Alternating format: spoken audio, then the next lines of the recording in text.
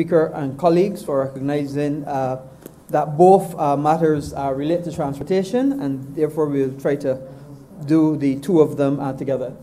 I promise that this will not be a very long debate. Uh, one essentially is a validation bill, uh, and what it essentially is doing is validating the monies that were collected um, for uh, bus fares. You would know that when the Minister of Finance speaks in a particular budget and gives an increase in a tax or a fare or fee, that you have a period of time on which to actually bring that legislation. And if that legislation is not brought within that period of time, then a validation bill is required. And that is what the Transport Authority Validation Bill 2020 seeks to do to be able to bring into actual law the changes that occurred in bus fares from the time of the financial statement to the present time. And that is, bas- that is all basically the validation bill does, and I would ask that, that we would consider it as such. The more important matter is the Public uh, Transport Miscellaneous Provisions Bill.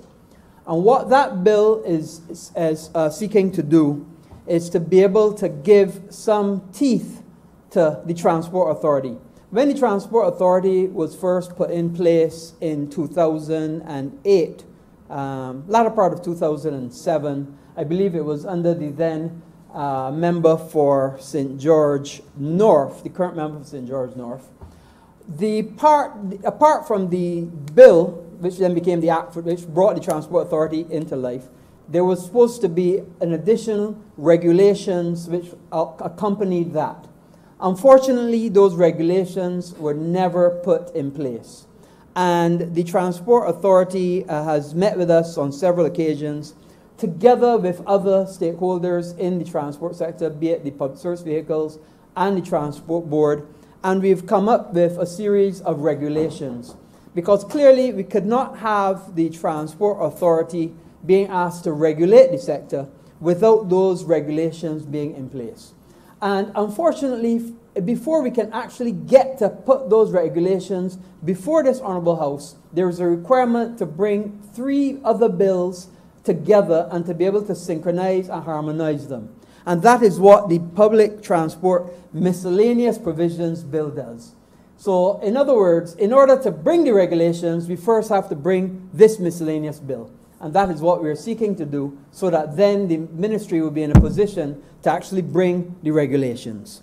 So, it is not a, a long bill, but essentially what it does is it gives us the opportunity to bring the regulations and put the regulations in force so that we have the miscellaneous bill. So it brings together the Road Traffic Act, the Road Traffic Regulations, and the Transport Authority Act.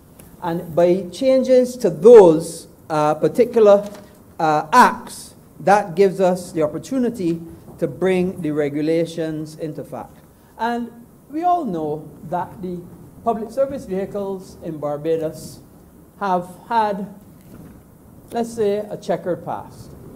And we appreciate very much the work that all the public service vehicle people do. You have to understand, uh, Mr. Speaker, that at times we only have 60, 70 transport buses on the road. But there are 600, 500, 600, sometimes 650 public service vehicles on the road. And they are our partners in transport and we appreciate the good work that they do, the vast majority of them. But some of them sometimes flout the law. Some of them sometimes are off road. They stop at places that are not designated bus stops. They overload the vehicles, and by so doing, they contravene the insurance that, that is required for them to transport the public. So, what the regulations seek to do is to try to rein in that bad behavior and bring that bad behavior to an end so that we can have a better control and better understanding of the sector. And essentially, what the regulations will do when they actually come into force once we get this uh, miscellaneous uh, bill through both houses and then we get the certification of the um, Attorney General what the regulations will essentially do, and the biggest part of the regulations is what you'd have heard me speak about in the past as the three strike rule. And what the three strike rule is and will be, Mr. Speaker, is essentially if you contravene any particular part of the regulations, you get three chances to contravene. First strike, you will get a fine. Uh, the amount I, I don't recall. I think it may have been $1,000, something in that range. If you contravene it on a second time, then you get a second strike and another fine. And then the third time you contravene, you will lose your permit or your driver's license. And there will be certain regulations there specific for owners and certain regulations specific for drivers. And that way, and, and let me say that the genesis of this actually came from the Trinidad uh, legislation. And we looked at the Trinidad legislation when we first looked at the, at the road traffic regulations. And we found that the Trinidad regulations were actually even more stringent, and they required, after two contraventions of the law, that you would lose your permit. And that would be lose your permit for life. Not lose your permit and get it back after a year. Your permit was gone. Now, after meeting with the stakeholders in the, in the sector, we decided that, and together with the Prime Minister, we decided that that was a little tough and difficult, and it would not be a full, complete loss of your permit or your license. And also, rather than, than a two strike rule, we would have gone to a three strike rule. And we had full, full agreement from, from all of the uh, players in the sector, and we are ready now in, in a position to actually bring the regulations once we can get the miscellaneous, this uh, miscellaneous bill through both houses. And that is essentially uh, what it will be. The biggest part of it will be the regulations because we recognize that we have to bring control to the sector. We appreciate the work that the public service vehicles have been doing, especially at this time in this COVID environment. We recognize that they've been under significant strain as well with the 60% rule of, of capacity and occupancy. And I've been advised by the Minister of Health, and we're looking to see what we can do to improve that and we're in significant discussions. And I, I hope and I, I believe that he will soon be able to make an announcement very shortly about that occupancy um, level. Because at the end of the day, as and everybody keeps saying, we're in this together. But we are in this together. Because just as I have to be your keeper and you have to be my keeper, those people that are essential service providers, of which people in the front line of it work in the transport, meeting people every day, transporting essential workers, transporting children as, as they go back to school, transporting construction workers to and from home, work and play, and to supermarket or whatever, doctor, whatever it is. They are absolutely critical to the, the whole infrastructure and the, the, the way that this society is set up. And therefore, Mr. Speaker, I would commend that we support both of these bills, both the one, of course, for the bus fares, which is housekeeping, and the second one is to be able to put the regulations into effect. And I therefore ask that these uh, bills do not pass. We Read a second time. Let second us. You have to do them one at a time, sir. Okay. Mr. Speaker, I therefore ask that the Public Transport Miscellaneous Provisions Bill be read a second time. It's second.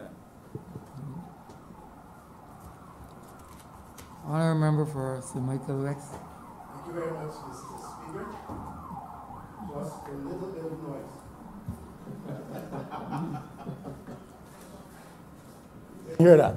No, the- the- the- your microphone. I didn't on. speak, I didn't make enough noise. Because you- you did make enough noise, but your, your, your your Just speaker was. a little bit of noise, um, Mr. Speaker.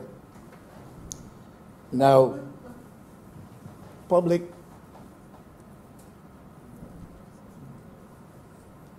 Honorable St. Michael South, you turn off your. Public, the, the, the member for St. Michael's South feels as long as I'm on my feet, his microphone should be on too. Because he identifies with me in vital ways. Uh, Honorable member that's to make a contribution or to, or to be confrontational or to adhere or not? I just want to. That is To make to- a contribution or That is to to support, oppose a that is to support me in my contribution. We go about a long way, Mr. Speaker. And all good times.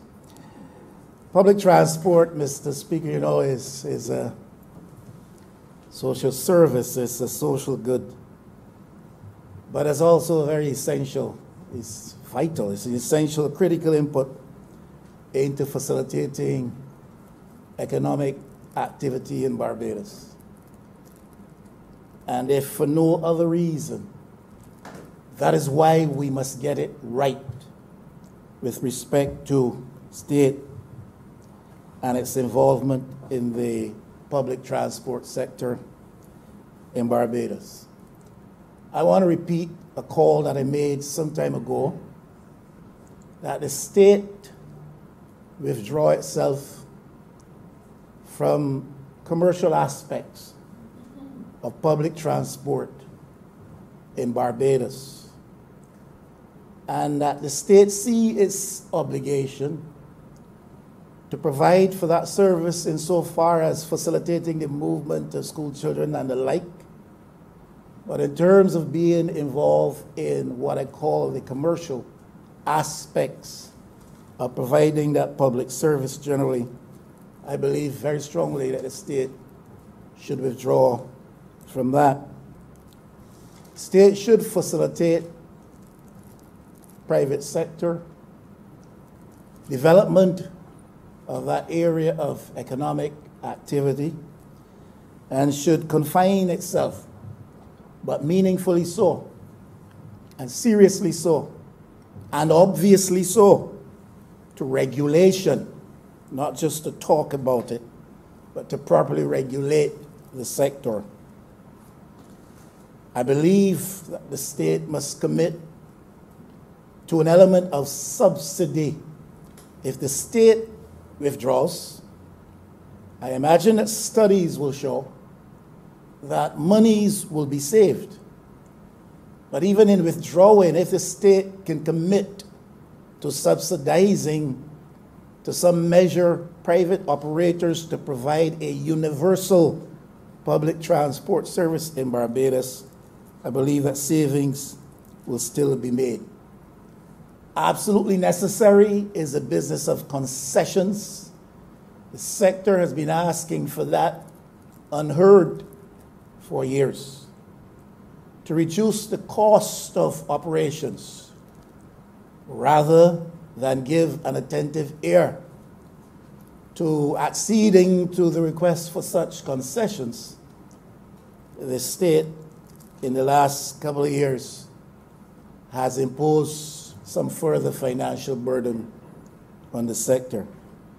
So I'm suggesting very strongly that the state withdraws from providing the public service as a social good in the universal terms in which it seeks to do and incorporate the private interests in so doing in a context of strong and obvious regulation, not just stated or documented regulations, obvious regulation, allowing for the savings of the costs associated with his involvement right now through means of subsidy to the sector that the universal service could be still provided, that fellows would not think they cannot operate at certain hours on certain routes and going into certain distant places in Barbados. If that is subsidized, I believe private interest can feel a motivation to go. If you don't subsidize that, then they will not go. If they don't go, then the transport board, the state entity, has to provide the service. And to me, at a greater cost than if you offer a subsidy. And a third pillar of this first proposal point is that we need to give a bit more considered air to the matter of concessions to reduce the cost to operators in the private sector.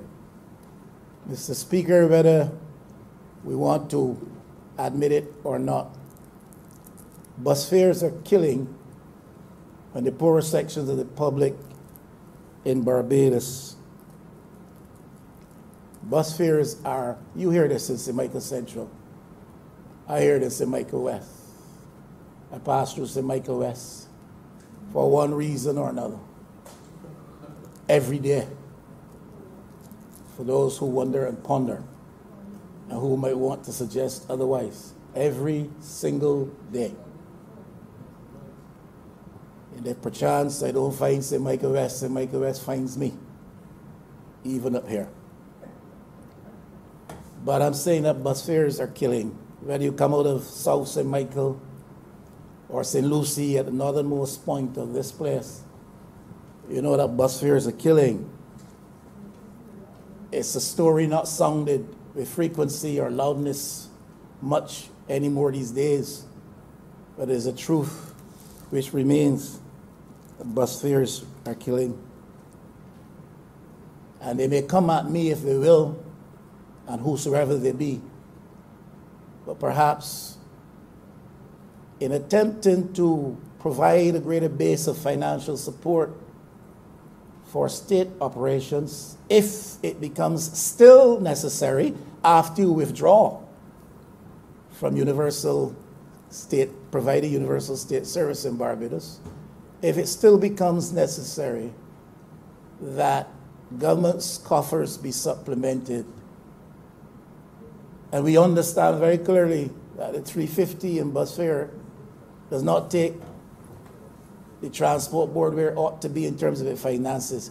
But I'm suggesting that perhaps consideration may be given, a study certainly should be done to see if some form of levy would not help us to reach better the goals, the financial goals that we have, while alleviating some of the pain upon commuters especially poor commuters in urban St. Michael Central or rural St. John.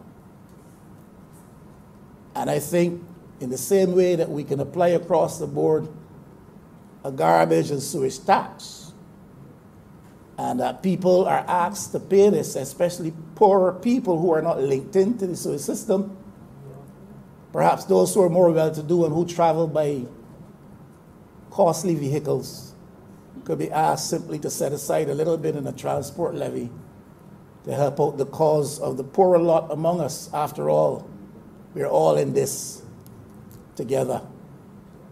We are all in this together. I want to repeat the call. I made this before, and I've heard in recent weeks of the Honorable Prime Minister making the same call that we incorporate the presence of the public service operators at all levels in helping with transportation of the public in this time of COVID. We do not know how long it will last. Many of these people have been displaced because of the collapse of the tourism sector upon which their livelihoods depended, whether they're at the airport or at the seaport or around the various parts of Bridgetown or elsewhere. I believe, and I, and I, I overhear the Honorable Minister suggesting it's already done. And if it's already done, I applaud that. But I called for it, and I've heard the Prime Minister recent days or weeks talking about it support the call. However, with this qualification, Mr. Speaker, I do not think that when we make such a call, it should be the intention that we seek to offer some kind of favor to any select group. So that select interest that benefited from private contractual arrangements with Ross University contractual arrangements which now lay dormant because of the absence of the university should not be an indication that that is the preferred group.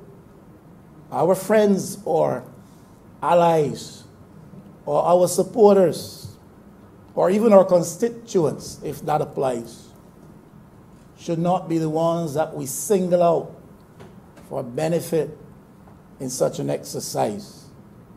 I say that simply from this site to offer the view that this is a good move, a good thing if we can properly structure it, but that the initiative should not be pursued from a perspective of offering help simply to our friends or those who support us or those we know well. Now, there's some cost hardships that apply in the sector among the private sector operators. Rather than allow for concessions, as has been asked for quite some time of both administrations, there was increased imposition with respect to the fuel tax that put a lot of these operators in a spin. And I have heard it described as you know, nickels and dimes. That's certainly not the language I would have expected. When you put this kind of increase with respect to public sector operated vehicles in the private in the among private interests, you can't say it's nickel and dimes. The price at the pump became rather painful for them, especially in the context where some still had to pay half of their road tax, still have to pay their permit fees annually. I raised this matter before. I raise it again because I think it is important. We can't stand and in one breath say that this sector is a partner. You can't stand in one breath and say that they provide an essential and vital role. In fact, they were classified as essential service when other entities were not. You can't stand and say that in one breath and then in the other breath do not facilitate them and allow some of these hardships to stand and to affect their operations. Now, I heard the Honorable Minister speak to respect, with respect to the regulatory entity we call the Transport Authority. And he made passing reference to the undesirable behavior and conduct exhibited by some who operate in the sector. And it seemed to me that his attention focused squarely and perhaps solely on the drivers of these vehicles. And it seems to me that his emphasis in terms of the robustness that the regulations will bring, uh, that relates again to the drivers and conductors if they have those. But, Mr. Speaker, there's some things to be considered. There's some entities, agencies, embodiments. We call them owners and we have to address the obligations, responsibilities of owners as well. Now, if I own a vehicle and I respect. Point of elucidation, uh, Mr. Speaker. Yes, I remember. A point of elucidation. Um, Elucidating his I thought I. I made it clear I can elucidate on my own speech. I know you can. And I made it, I, I thought I'd made it clear to the Honourable Member. If I didn't, I will go through it again. The regulations so structured when they come. There are some regulations that will relate just to owners, just to owners. And there's some regulations that will relate to driver, driver conductor. So we have recognized that in the past, the drivers took most of the brunt, but sometimes the owners did not. So I'm hearing the Honourable Member, and just to elucidate, yes, in the regulations that come, there will be a section, three straight rule as well, for owners, permit holders. And I'm glad to hear that, Mr. Speaker, and I apologize. Um, maybe the honorable member didn't make enough noise when he said it uh, previously, but I'm hearing him clearly now. And noise has reached my ears, and I'm glad to hear that we will pay some attention to the owners as well, because they have a responsibility with a license for vehicle on the road and the privilege to have one and some four and five and I don't know where the number stops and how they got so many. That's another story to be told. But I have a responsibility, being so privileged as they are, to have these vehicles on the road from which they make some money, whatever the arrangements are for the actual day to day operations and movements. Have responsibility, and the regulations should speak to them. Now, the, the a lot of the undesirable behaviors, I understand it, I believe you, same, same signals reach you, uh, derives from the fact that these fellas are hustling. It is the competitive um, nature of the business. I, I saw one overtake me recently, Mr. Speaker, and stop diagonally across the road in front of me, in the middle of the road. And I am glad that it was not you in my position there, Mr. Speaker. The outcome probably would have been different.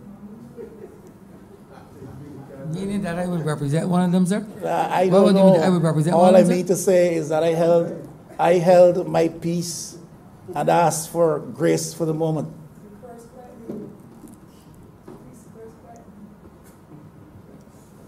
Continue on, remember. No, I try my best to ignore certain things. You know. There's certain things. There are certain things that don't sit well with me, and I don't see them as part of the political. You know, I see them. I see them as character assassination. I do. I do. But I will ask for grace again in this moment, uh, Mr. Speaker, and, and push on.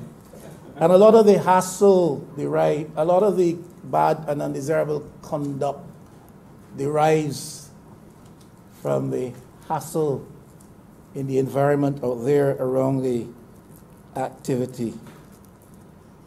These increases of recent times could only have added, I mean, increased impositions, notwithstanding the increased bus fares, could only have added, added to that culture of hassle out there. And we've got to understand the dynamics operating in the system, try to address them fully and frontally. And we will stand here and commend any effort that is designed to achieve that goal. That we address these matter and this element of the sector, the private operators, owners, drivers, conductors, what have you. We address issues around them through whatever regulations we need to put in force, frontally and fully, but also fairly. And that's simply the position I want to represent. And maybe we ought to take out of the mix the element of hassle, not only by providing for regulations that run counter to that instinct to hassle and misbehave and indulge in, an undesirable conduct, but perhaps we need to put into the mix a fair structure for these, not a fair structure, a fee structure for these operators, these drivers, which is regulated. Transport board driver is paid X amount to money. A PSV operator, a ZR driver, a B man, however they're labeled, I say B, I mean the letter B, please. quickly come to that because I saw the quick glance from my friend from St. Michael South. I tell you, our bosoms beat together. And, um, and, and I'm simply saying, perhaps it, it could be studied, could be considered, that there is a fee, flat fee, that is regulated in terms of how they earn and take this hassle out of the situation.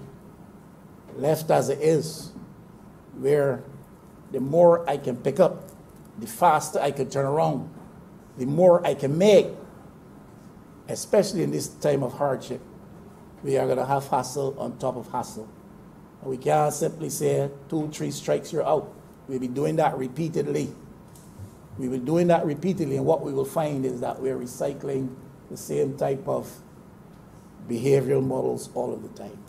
I simply want to offer this. My humble friend from Christ Church West did not trouble me much, so I'm not going to trouble him.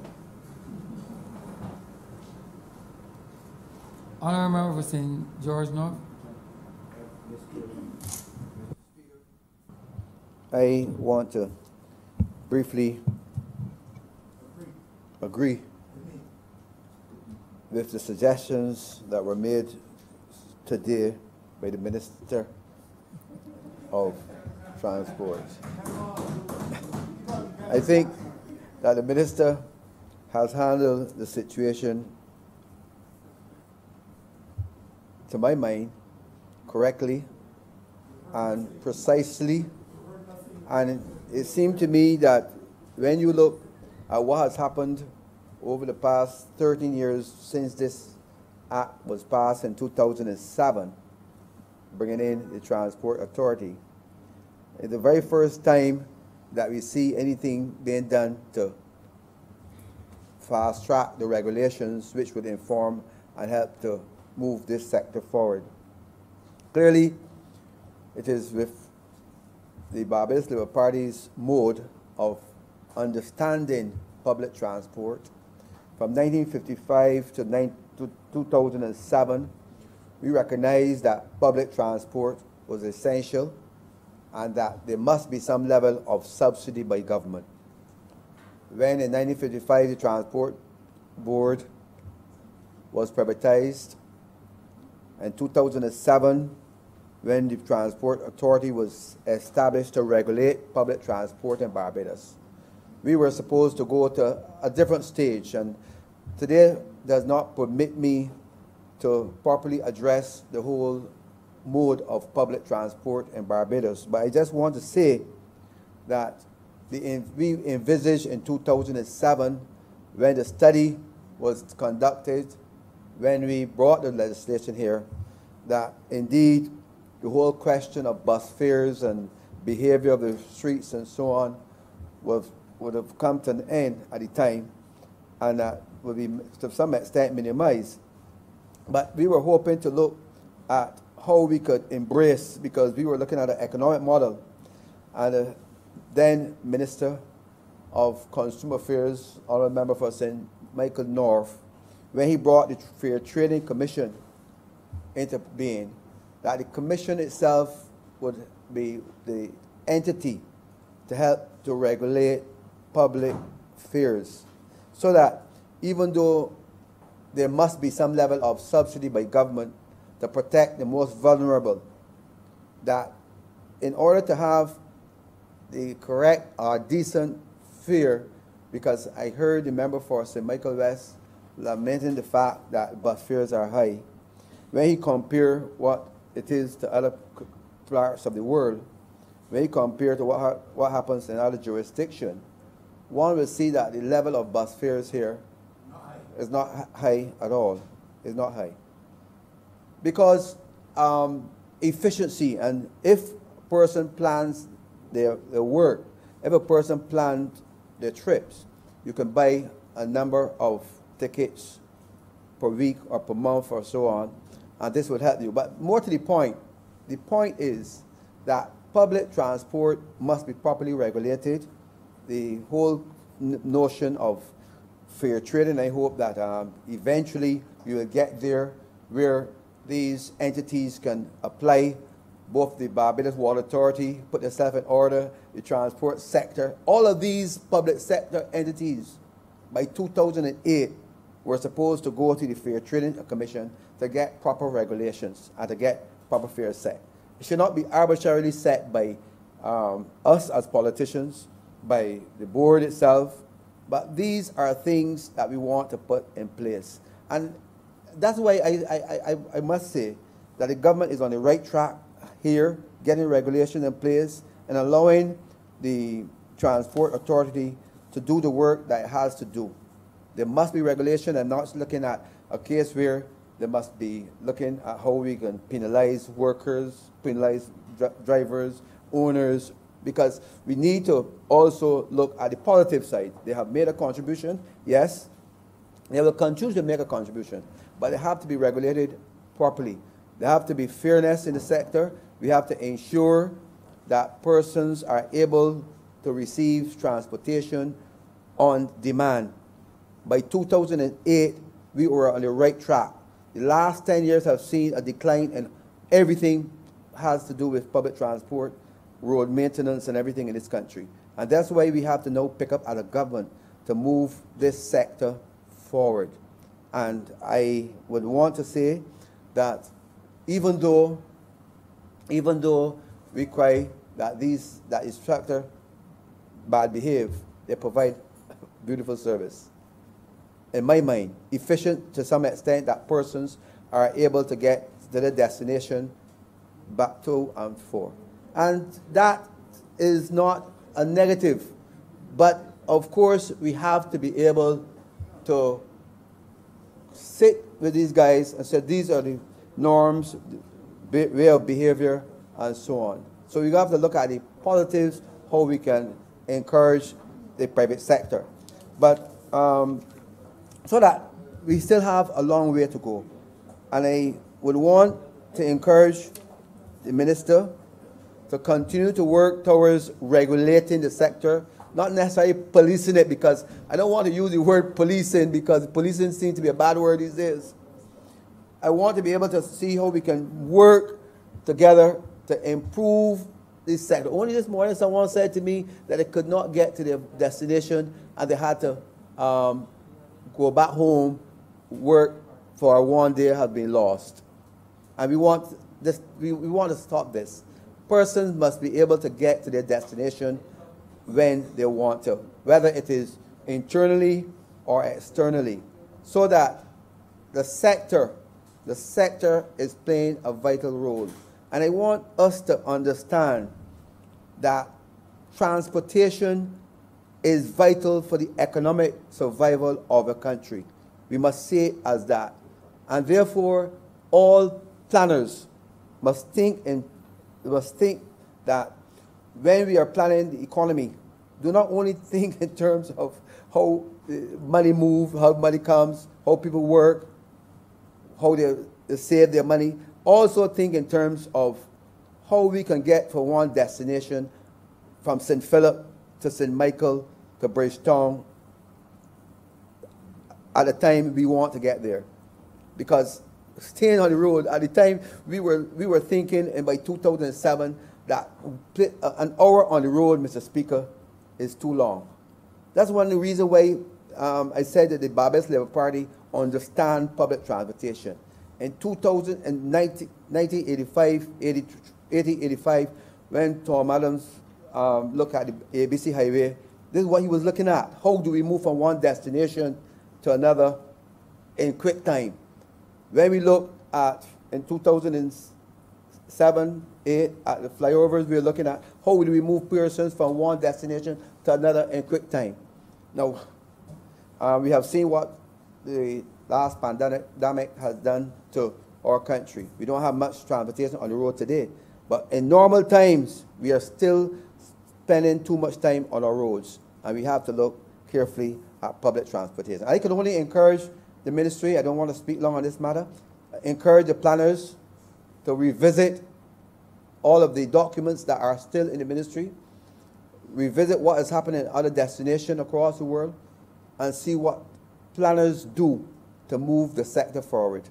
I could only encourage the government to look and to encouraged because I would hate to know that um, because of cost, we have to abandon the transport uh, board or we have to abandon private sector. We as a government must understand that we have a duty to subsidize in some way public transportation. And I think we need to sit down over the next couple of months or years or whatever to put our heads together to plan this sector just the way we are planning other sectors in, within the economy. Mr. Speaker, I'm obliged to you. Honourable Member for St. Thomas. Thank you very much, Mr. Speaker. I wish to laud the Honourable Minister of Transport for bringing this, this, these two bills for us to be able to give teeth to the Transport Authority. I know that for many years, as a young girl, we relied on the private transport to be able to go to and fro. Our population of children going to schools, especially the crisscrossing that we now see, was not there. Fewer children had secondary education, and therefore there was no need at that time for so many buses and so many other forms of public transportation on the roads. And those few private sector owned transportation, well, buses belonging to the, the private sector and the private concessionaires, those buses were extremely reliable. Bus drivers and workers were persons who were responsible, mature, and made sure that we got to and fro from our various to and from our various destinations. But I know that government took over. Bus fare was so expensive at that time, and I'm referring to many years ago when I was a young girl. I was one of the people really very happy that government had taken over the system because it had good regulations and of course everything else worked out well because there was a high measure of discipline in every aspect of it. I know that a past Barbados Labour Party administration came up with a vision of identifying the novel idea was to come up with an aspect of business that will empower other Barbadians so that families could come together to buy a minibus, a, Z, a ZR. First it was the, the, the B bus, then the ZR, and so on. And I thought it was great. But then I experienced, and all of Barbados has experienced, an element of disorder and discipline that is not in keeping with the Barbadian culture at all. I believe, sir, that with all the good intentions, things got out of hand. When some people were able to access five and six and eight permits in one person's name or in a family's name or in a, a group's or company's name, and uh, the transport authority did not have the necessary regulations in place or the teeth to be able to treat to the matter. And I'm treating it to this, sir, in a very impassioned way because what I see happening on our roads are now infiltrating our general rural communities is really not in keeping with the culture that Barbadians have grown accustomed to. And it is extremely dangerous and creating numerous problems for everybody, every sphere of a route, don't care where in Barbados it is now. Our senior citizens cannot deal with it, I must contend. And when our young people see it, they too are getting involved in the level of indiscipline that is contrary to Barbados and the life and the lifestyles that we have lived. And so I am happy to see that some element of strengthening and some teeth and authority is being given to the transport authority to be able to tackle this matter. If it is not treated to sir as urgently as possible, it is going to become worse. So regulation for me at this stage and for the Labour Party is critical in order for us to bring the sector and an element of discipline into our system so that people can feel safe on the roads, whether they are using the private transport system or not. I have used it in between. I still try because there are times when you have to take your vehicle somewhere and you need to get to where you're going. But I'm extremely selective because I have got elements of fear in me every day as to what I see on our roads. I want to say, sir, that the system is in a mess, meaning the PSV system. And I heard some of the discussion on a program on Sunday night that even gave me more opportunities to speak with a little more element of authority in this respect. The law needs to be practiced. It needs to have, the, the system needs to have more teeth to be able to bring those perpetrators out of the system and let us go forward with a better, smoother, and more efficient transportation system. There are other countries in the Caribbean who have gone this route, and the systems are running exceptionally well. The bad behavior, the loud music, the threats, the fights, the videos that we see, the cursing, it is contaminating our schools' children. And unfortunately, there are some parishes, some communities where there is no transport board bus route as such, and because of our limited bus system now, some communities have no transport system at all when it comes to the transport board that a lot of more mature people would rather travel on. But I see our school children every day, and I'm going to focus, Mr. Speaker, sir, in my small eh, um, intervention as to what I see on the Jackson route that really needs to be attended to as a matter of urgency. Our school children are putting, sometimes you can see 25 and 30 children packed in those buses. You see the drivers smoking the weed. drinking the alcohol, cursing everybody, blocking the road. All of our members in here, sir, I believe, are exposed to that kind of behavior wherever they are going in this country. And it is an element that bothers me tremendously because sometimes we see some very serious accidents. People are injured, and sometimes the bus is a bus that is off route. And the Honorable Minister, I have, I have given up now treating to the Transport Authority because I would have been seen as a pest, but I don't, don't mind because I'm going to stand up for what is correct and proper. I come in here and make my little jokes and so, but I can get very, very serious on matters where the indiscipline is so rife that people have to jump out of the road, skip out of the road in order to save their lives. There's snake on the road.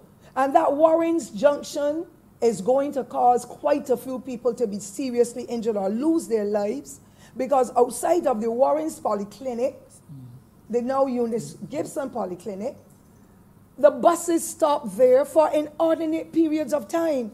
So anything entering into the community that is to the east of the same bus stop between the, the, the, the, the polyclinic and the same bus stop to take you into Bridgetown, they cannot get out from their homes. There are clinics in there beyond the polyclinic where people have to go to get their various blood tests and so done.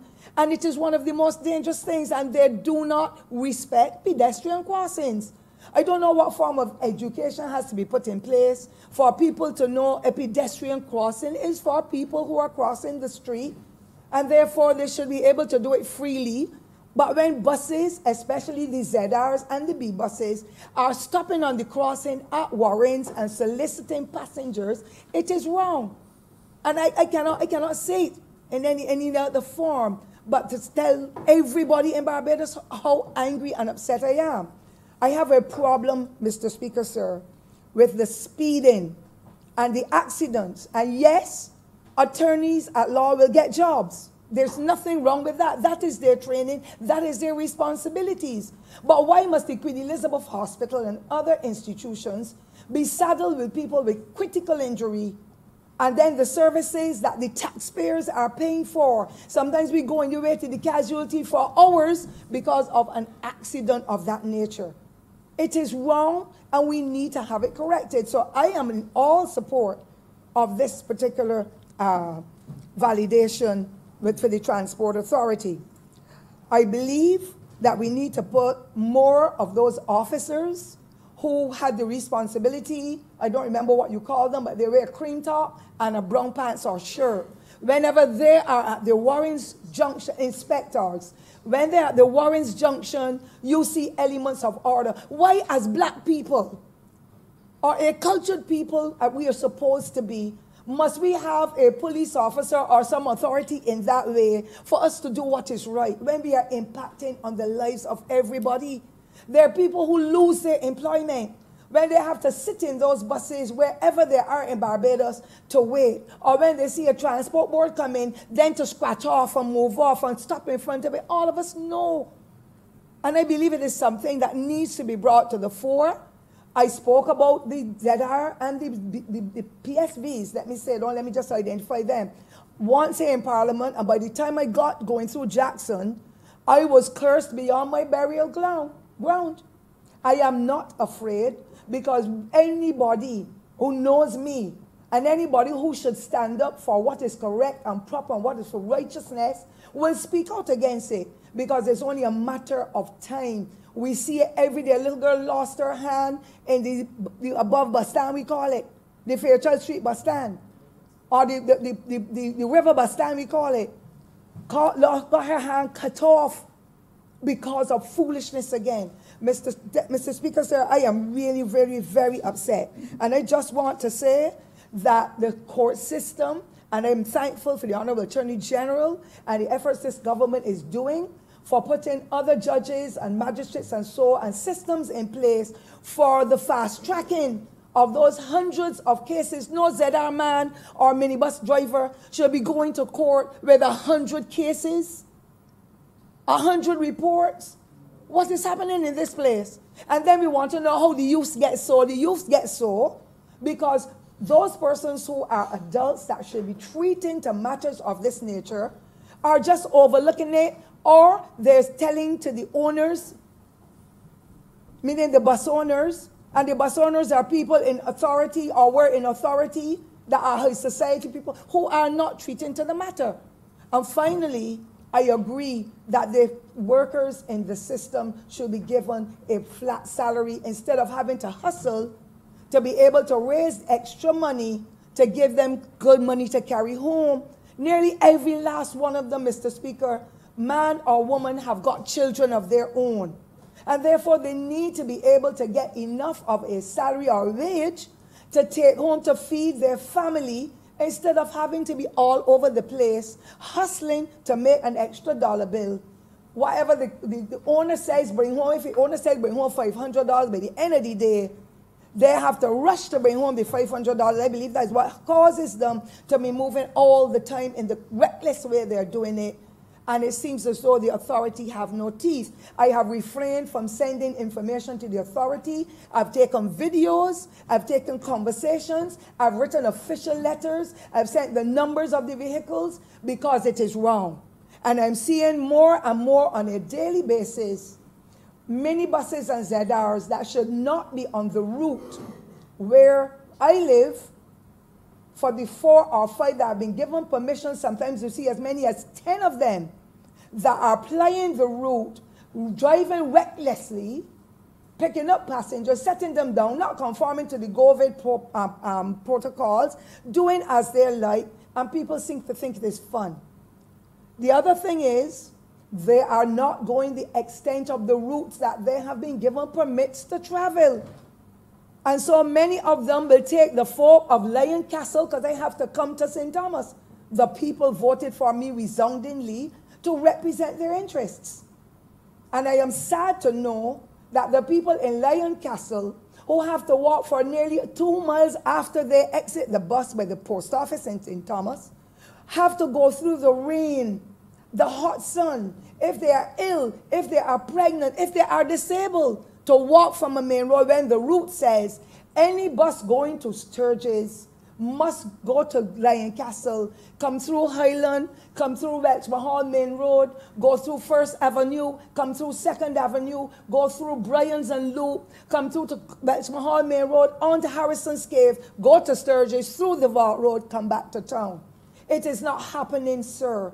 And I am hurting and I'm expressing it here because it is pointless me now working with the Transport Authority on these matters that are so critical when unfortunately I sent a, a, a video and the person was given a notice from the Transport Authority to be suspended January 2020 for the entire month. That bus worked every day of January 2020. It was never pulled from the road. I believe because this validation bill was not in place.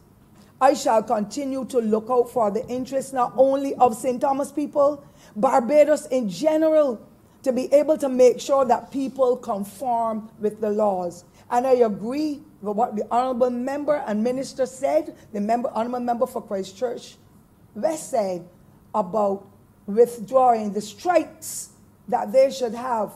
And if they make the three strikes and they take away the license, take away the permit, whatever, Mr. Speaker, there are some of them that are driving around with fake ZR numbers and possibly B ones. So I haven't seen the Bs. I saw the ZRs.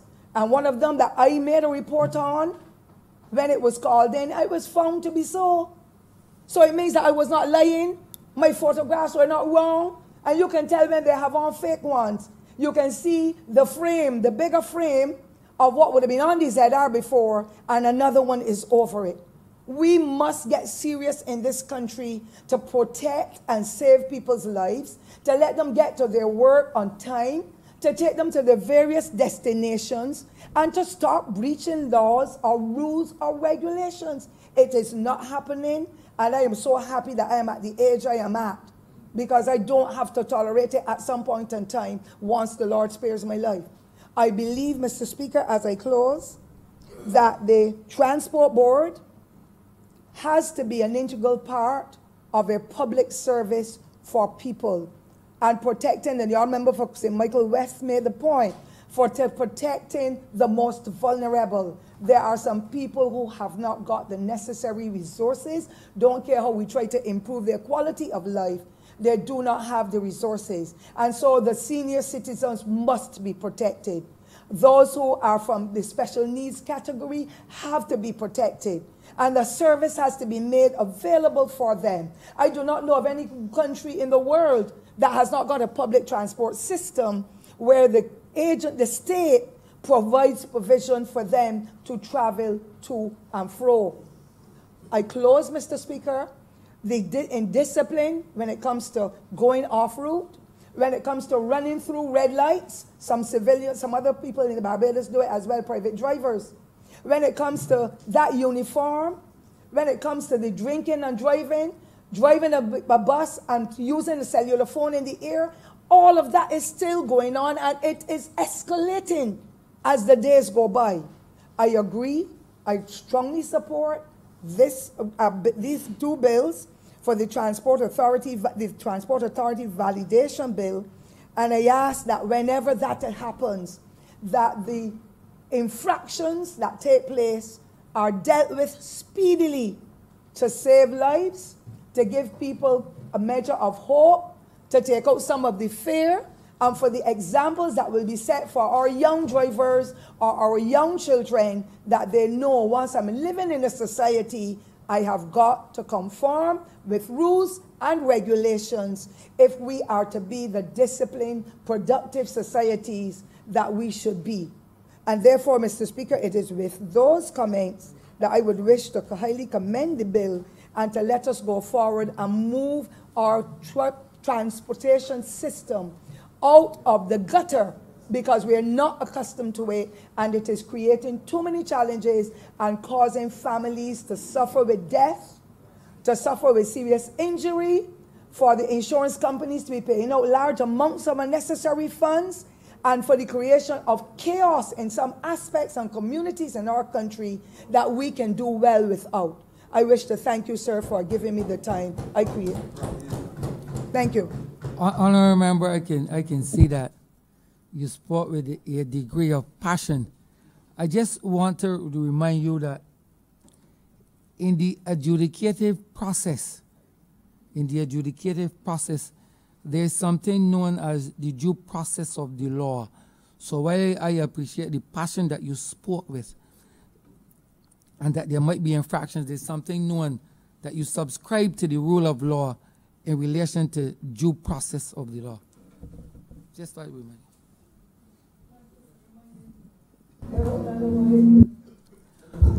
Honorable member from West.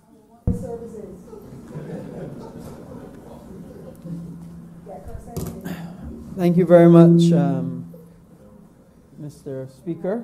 Um, first, let me thank um, all members who spoke. Um, in the past, I would say on this side and on that side, but there's only one on that side. But um, still, I want to. Well, the question is, we're all in this together.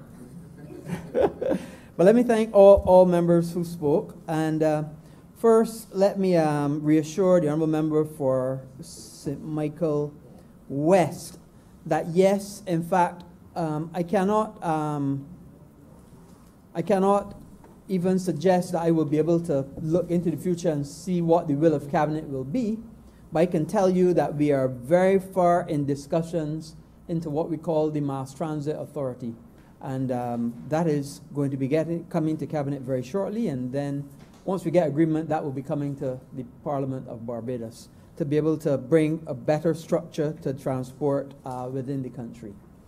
Uh, respect to the subsidy that you asked about, in fact, if you were to look at the estimates of this year, you would in fact see that the transport sector got a $31 million subsidy last year, and the approved estimates were for a $15 million subsidy this year. So subsidies are a definite part of the transport sector, and um, that will be something that we're looking at because obviously it is a cost that everybody has to carry out of their tax dollars and it is something that we are looking at. With respect to the owner's question that I got up on a point of elucidation, in fact, if you had had a cursory look at the bill itself, I don't mean to be disparaging, but um, the actual bill itself, when you look at it as presented to Parliament, in fact, does say what the subsequent convictions will be relative not only to the licensed driver or conductor, but 23A, the authority may suspend the permit of an owner as well, owner or operator of a vehicle. So we, we recognized that for a long time, the brunt of the infractions were carried by the driver. But there were some infractions that related to the owner, and the regulations will capture the owners as separate. With respect to people being off route that the member for St. Thomas spoke about, we recognize that this is a problem, not only for you in St. Thomas, but the member for Christ Church East suffers tremendously by this, people going into Thyme Bottom and Parish Land and so on.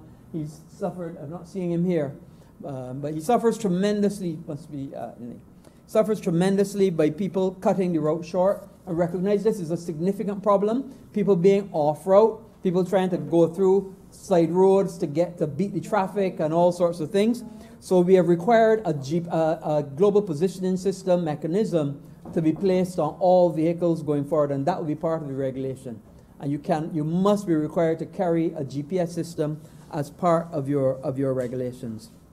The honourable member also spoke about um, whether we had only chosen certain people to join the TAP program during the COVID period. And I first want to uh, enlighten our member that we, uh, we had asked anybody, and I met with all of the BT people uh, in the past. I met with all of the ZM people. I met with people who, the church people, actually, who had tour buses in the past to ask them if they wanted to come in and provide transport to the sector. That was before COVID. And since COVID, all of those applications and all of those opportunities for people to come in to the program were still open. And we had seven um, BT people, those are tour bus people, who have actually come in and are providing service to the program, and 25 uh, ZM people. So they have, in fact, started uh, to provide uh, the service. They were trained by the Transport Board. Uh, I, I met someone recently who told me that he saw quite a few of them in the St. Joseph area. And these were new, these are the BT people who are actually providing the service to assist with the Transport Board. This is because we recognize that when the 60% restriction was put in place, there were a lot of people that would not be able to access transport so we brought on these people to help to provide that transport. Uh, whether that will that that practice will continue, we will assess and see what is required because we want to get everybody to and fro and transported. You'd also have seen in the in the press um, that we've also looked for an RFP for somebody to provide a school bus service. So in addition, by providing a separate school bus service, and that RFP actually saw uh, last night actually, uh, to provide a school bus service which would take the school bus service uh, out of the transport board realm and put it for an independent person providing it in collaboration with the transport board. And then that would mean that other buses that normally use are providing the school bus service would be available for the routes.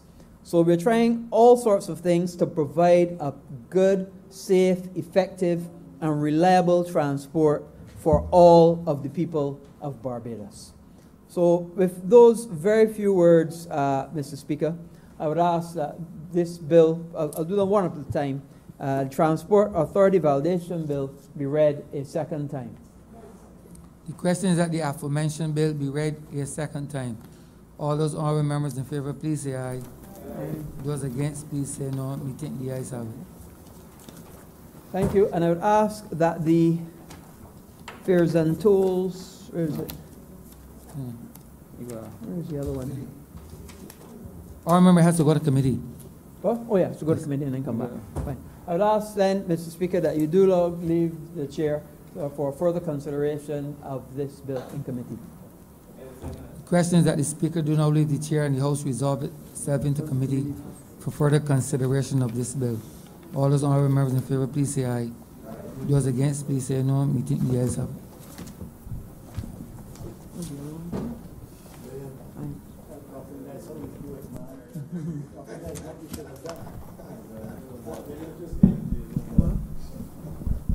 This house is now in committee. Clause one.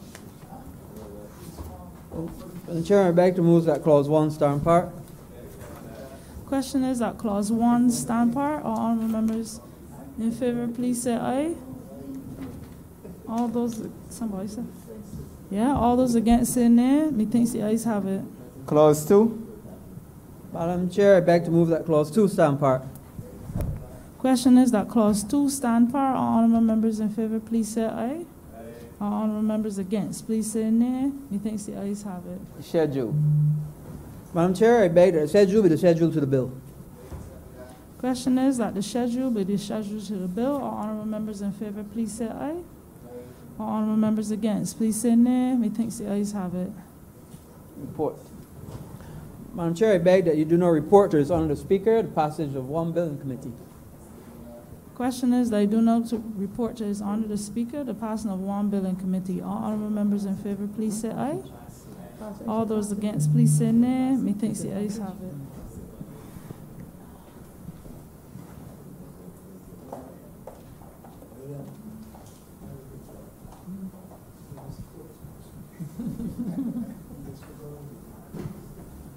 The chairman of committees has reported the passing of one bill in committee.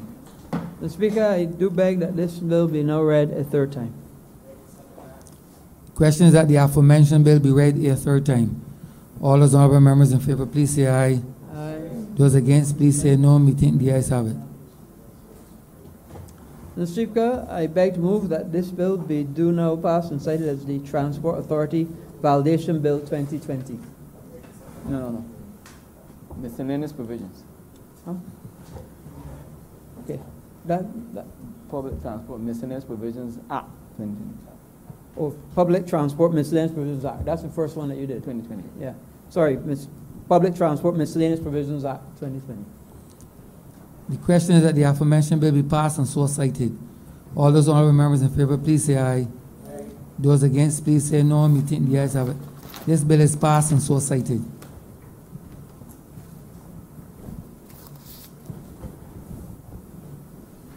Want me to do the other one? Order number 12, sir. In the name of the Honorable Minister of Transport Works and Maintenance, to move the second reading of the Transport Authority Validation Bill 2020. No, This is the next one. Honorable for Christ Church West. Mr. Speaker, I beg to move that this bill be read a second time. The question is that the aforementioned bill be read a second time. All those honorable members in favor, please say aye. Those against, please say no. Meeting, the ayes have it. Mr. Speaker, I beg that you do now leave the chair and the House resolve itself into committee for further consideration of this bill. The question is that the Speaker do now leave the chair and the House resolve itself into committee for further consideration of this bill. All those honorable members in favor, please say aye. Those against, please say no. Meeting, the ayes have it.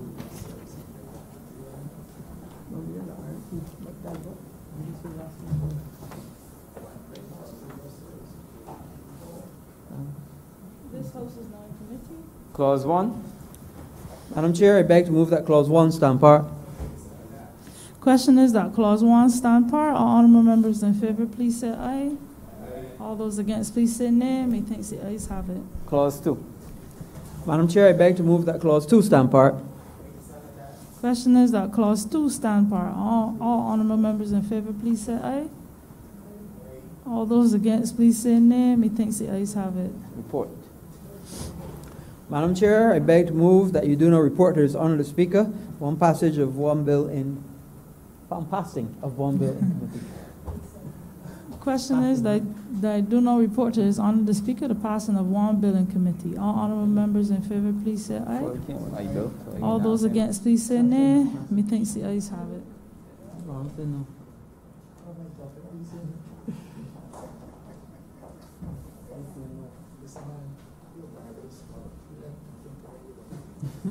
Chairman of committees has reported the passing of one bill in committee. Mr. Speaker, I beg to move that this bill be now read a third time. The question is that the aforementioned bill be read a third time. All those honorable members in favor, please say aye. Those against, please say no. Meeting the ayes have it. Mr. Speaker, I beg to move that this bill be now passed and cited as the Transport Authority Validation Bill 2020. Ven- uh, Act, sorry, 2020. The question is that the aforementioned bill, Uh, uh, aforementioned act be no passed and so cited. All those honorable members in favor, please say aye. Those against, please say no. Me think the ayes have it.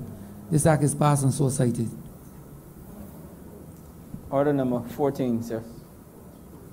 In the name of the Honorable Minister in the Ministry of Finance and Economic Affairs, to move the passing of a resolution to approve under Section 3 of the Special Loans Act, Chapter 105, the borrowing by the government of the sum of Barbados $2,493,271 from Scotiabank Barbados Limited to repair an existing overdraft facility held by the Caribbean Broadcasting Corporation.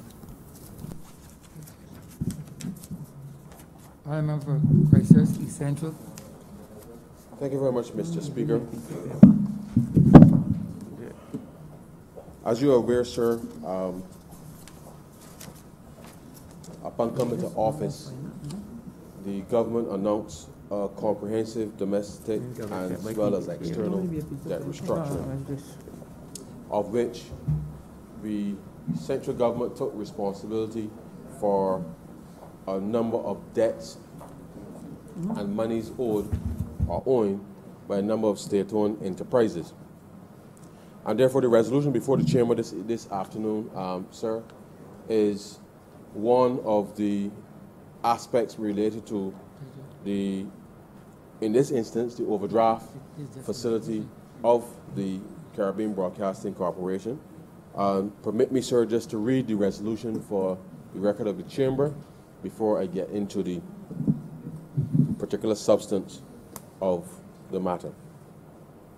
So, resolution reads, sir, whereas by virtue of Section 2 of the Special Loans Act, Cap 105, the government is authorized from time to time to borrow from another government, any bank, corporation, company, or other institution, sums of money not exceeding in the aggregate Barbados 2 million, sorry, Barbados 2 billion 500 million dollars on such terms as may be agreed upon between the government and the lender of any such sum of money.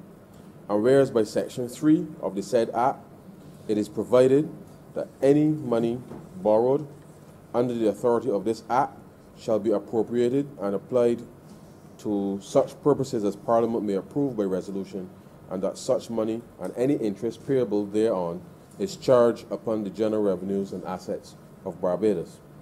And whereas the government considers it necessary to borrow the sum of Barbados $2,493,271 from Scotiabank Barbados Limited to repay an existing overdraft facility held by the Caribbean Broadcasting Corporation. And whereas the said sum of Barbados $2,493,271 is borrowed on the terms and conditions contained in the commitment letter, the main provisions of which are settled in the schedule. And whereas the said sum of Barbados $2,493,271 is within the authorized borrowing limit given to the government under Section 2 of the said Act. Be it resolved that Parliament, that, sorry, be it resolved therefore that Parliament approve the borrowing of the said sum of Barbados $2,493,271 from Scotiabank Barbados Limited to repair an existing overdraft facility held by the Caribbean Broadcasting Corporation on the terms and conditions contained in the commitment letter and the main provisions of which are set out in the schedule. Mr. Speaker, sir, as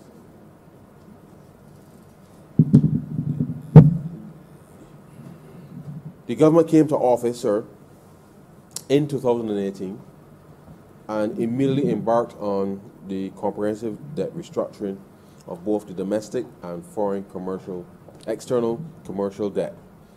And the government assumed the responsibility centrally on behalf of a number of state-owned enterprises, approximately some $718 million in loans held by state-owned enterprises, which were exchanged as part of the, the new um, government of Barbados um, securities. Now, in accordance, sir, with the terms negotiated um, overdraft facilities were excluded in the domestic that exchange. And so therefore, we felt it was important that we, in order to assist some of the, the state-owned enterprises, which had to, notwithstanding the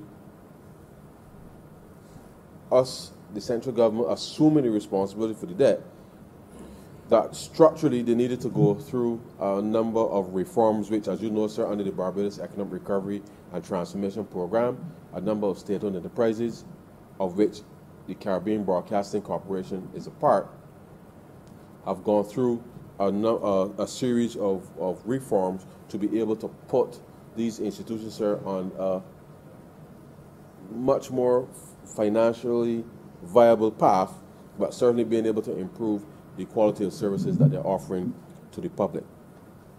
Now, sir, um, so we, we propose then that the overdraft facilities be closed and converted to new, loan, to new loans, which obviously will be serviced by the government. So in this context, sir, uh, we sought to address the, the overdraft facility held by the CBC, Caribbean Broadcasting Corporation, sir, with Scotiabank. Um, the truth is, sir, that this facility is meant to be paid over the course of 18 months, and, it, and the term sheet, sir, which is in the schedule, um, the amount, as previously said, sir, um, before is $2,493,271, and it will be paid over the course of 18 months, which is the term of, of, of the loan. The loan shall, be paid in 18 monthly blended principal and interest payments of Barbados $144,062.08 each month, sir. And the balance of the loan, together with all accrued interest and amounts outstanding, shall be paid on or before the date, which is 18 months from the date of the initial advance. The interest rate, sir, on this particular facility renegotiated is actually 5%. Um, and interest is payable monthly and calculated on the basis of the calendar year, sir, for the actual number of days um, elapsed divided by 365. Now, sir, the reality of the situation is that when we came to office, sir, and just to give a little bit of history, um, the facility that has been renegotiated, sir, um, was standing at the interest on the overdraft was around 10%, sir. 10%. And just to give a little bit of history on this particular facility, um, the, uh, this specific account, sir, was opened in August of 1972 at clearly the Bank of Nova Scotia. And the overdraft facility then in 2006, sir, was increased from $1 million to $3 million, which seemed natural, sir, in response to the growing, um, the growth of the business. And then in 2009, sir, the overdraft facility then was increased again by 2 million to $5 million to fund, obviously, anticipated increase in, in business. Um, the reality, sir, is, as you know, the Caribbean Broadcasting Corporation, sir, has been operating uh, over the over its inception, sir, primarily by being able to um, source material from outside, sir. And as you know, sir, um, based on intellectual property, you have you you have to per, you have to um, pay the appropriate royalties with respect to that, in order to provide content certainly to um, the Barbadian public. Um, as we would have seen over the years, sir, there's been an expansion um, in terms of where the MCTV component would have uh, moved from STV to MCTV. Um, and whilst Barbadians would have subscribed to that initially, the liberalization, for the most part, of that market space um, would have seen new entrants into that space. Over certainly the last 10 years, sir, TV on demand has become a much more uh, prevalent um, option for Barbadians as our Barbadians then increase their access to internet and therefore I can watch TV whenever I want, sir, as opposed to waiting um, for the Sunday matinee as we, when we were a little boys, sir, um, on Sunday afternoon to, to so do. And therefore, the corporation, sir, has not always kept pace with what has been happening from a technological perspective.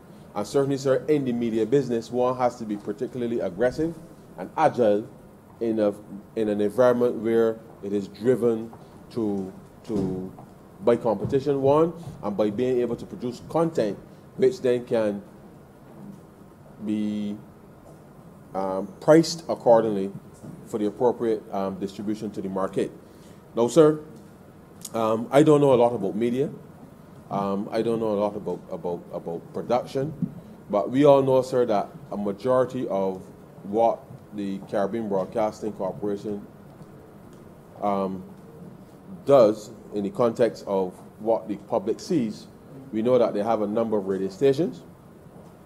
We know that they also have the MCTV component, and we also know that they have channel 8, sir, as its primary um,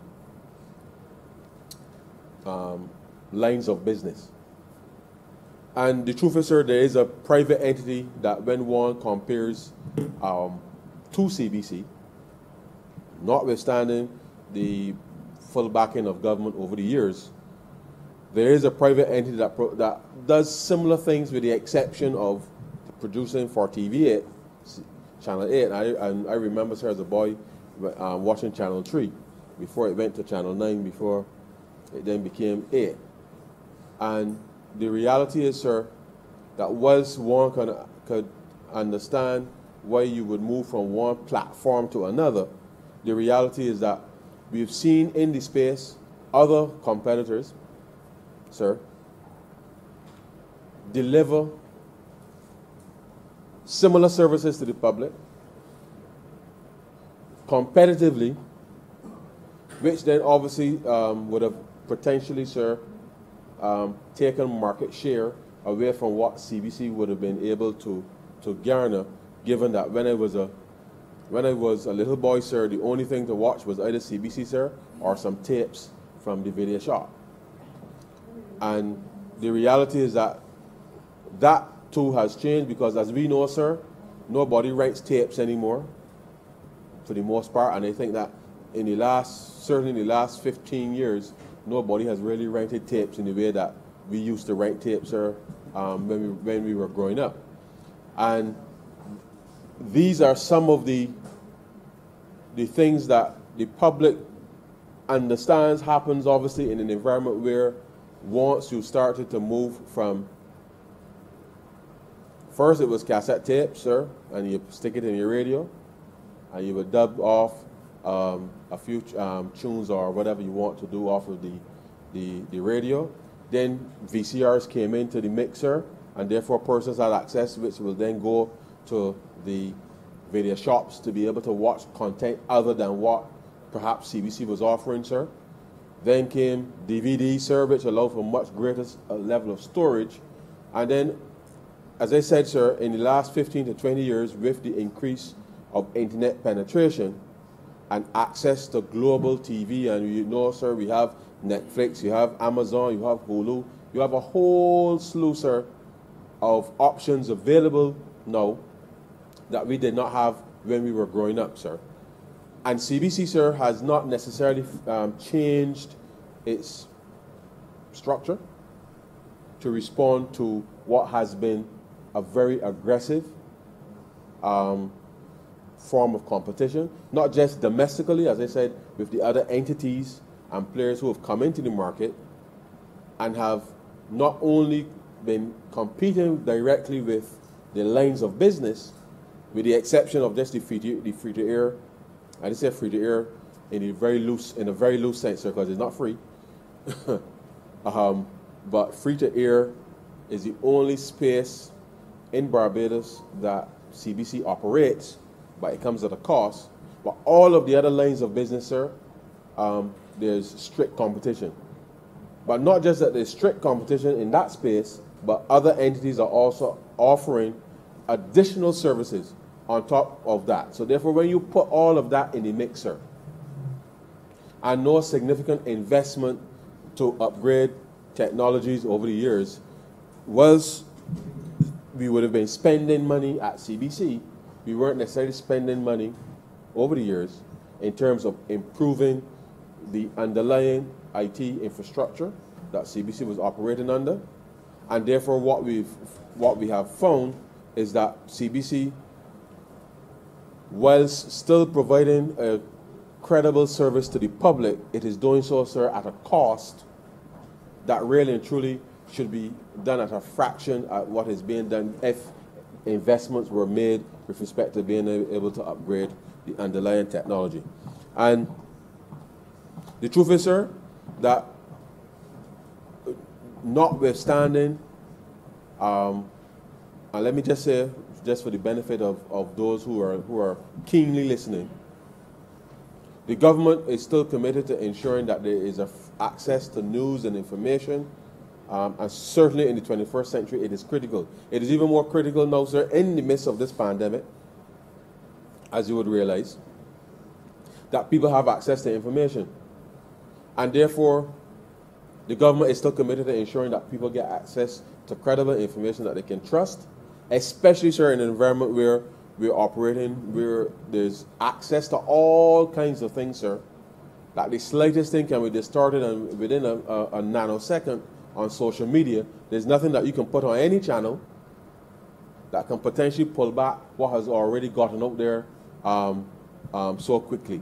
And therefore, whilst the all of the media um, in Barbados now operate in this social media environment because they have to. That's number one. And they do know that CBC um, has capacity in that space. But are always still, sir, um, the traditional avenues that once delivered appropriately, sir, and once properly funded and staffed, that we can see a better use, perhaps, of the resources to be able to move forward. And so this, the restructuring of this particular overall, um, this overdraft facility for the Caribbean Corporation, um, Broadcasting Corporation as I said, was part of the restructuring.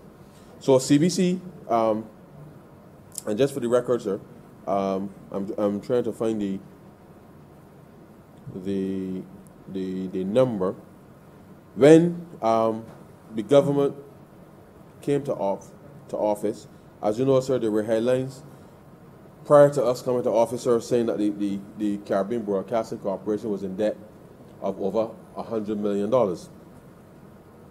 um, which nobody really could understand, sir, how, how that was even possible um, for an institution um, of that nature to have been able to, to um, be allowed over time to increase a stock of debt that clearly became unsustainable because as you would appreciate, sir, for an, an institution where, notwithstanding the performance of MCTV, which really was the operations with respect that provided the cash to CBC, that even though MCTV was the underlying um, business line that allowed for CBC to run on a day-to-day basis because of the subscription, that so long as you had such competition in the market, sir, with the other entrants, and, have, and the competition has been stiff because, as I said, sir, they, they've added, they've added um, services beyond that which CBC offers. And therefore, with that view, it would have been clear that CBC could not have been able to sustain itself in the current structure, sorry, its previous structure and composition given where the cash flows were, were going.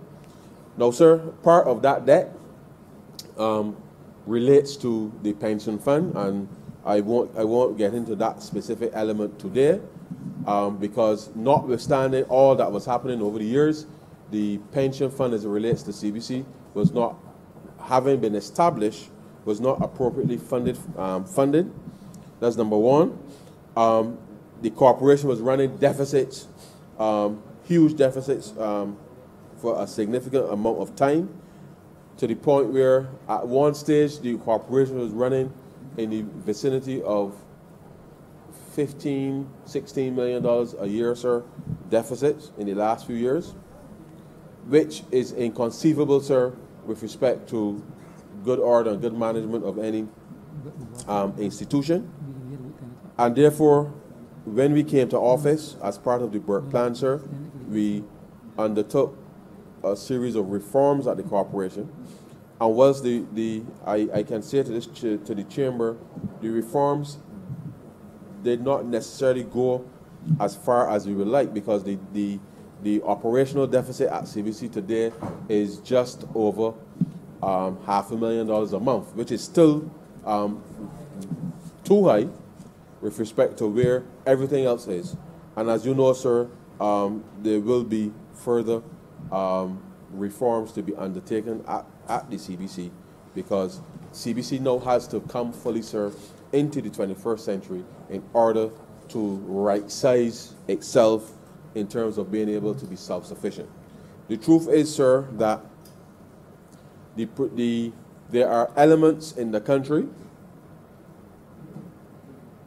from a production perspective, sir, that uh, whatever form or structure CBC may have going forward will have to be able, capable of accommodating, sir, the content, in part, the content that is being produced in the country as an outlet with respect to being able to, to, to do, to, to reach not just people in Barbados, sir, but certainly on satellite TV and a whole host of other, other outlets that potentially CBC can play a role with respect to unleashing a lot of the talent that is in Barbados.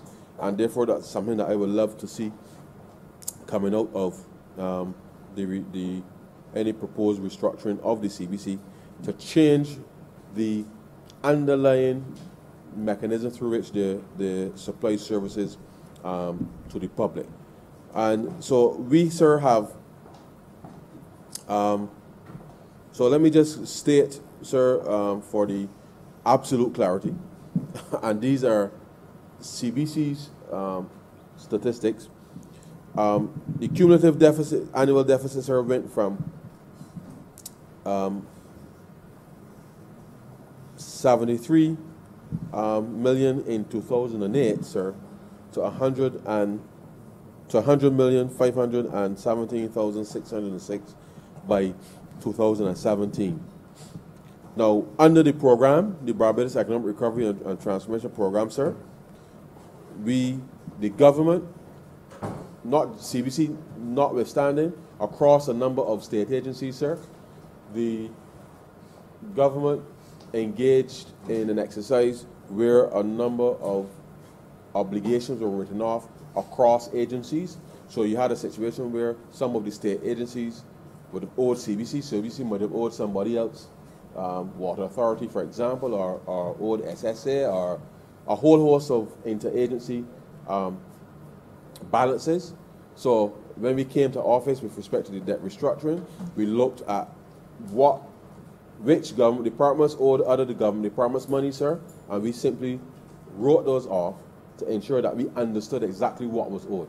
Because if I owe you and you owe me and, and, and everything is in the same pot, essentially, sir, it really doesn't make sense all of us carrying this headache about trying to collect, I trying to collect from you, sir, and you trying to collect from me. So therefore, we, we settled that so that we understood exactly, for not just in the instance of CBC, but for all of the other government agencies, once we cleared what government owed itself, essentially, then we had a better understanding as to what, in effect, was owed um, out there.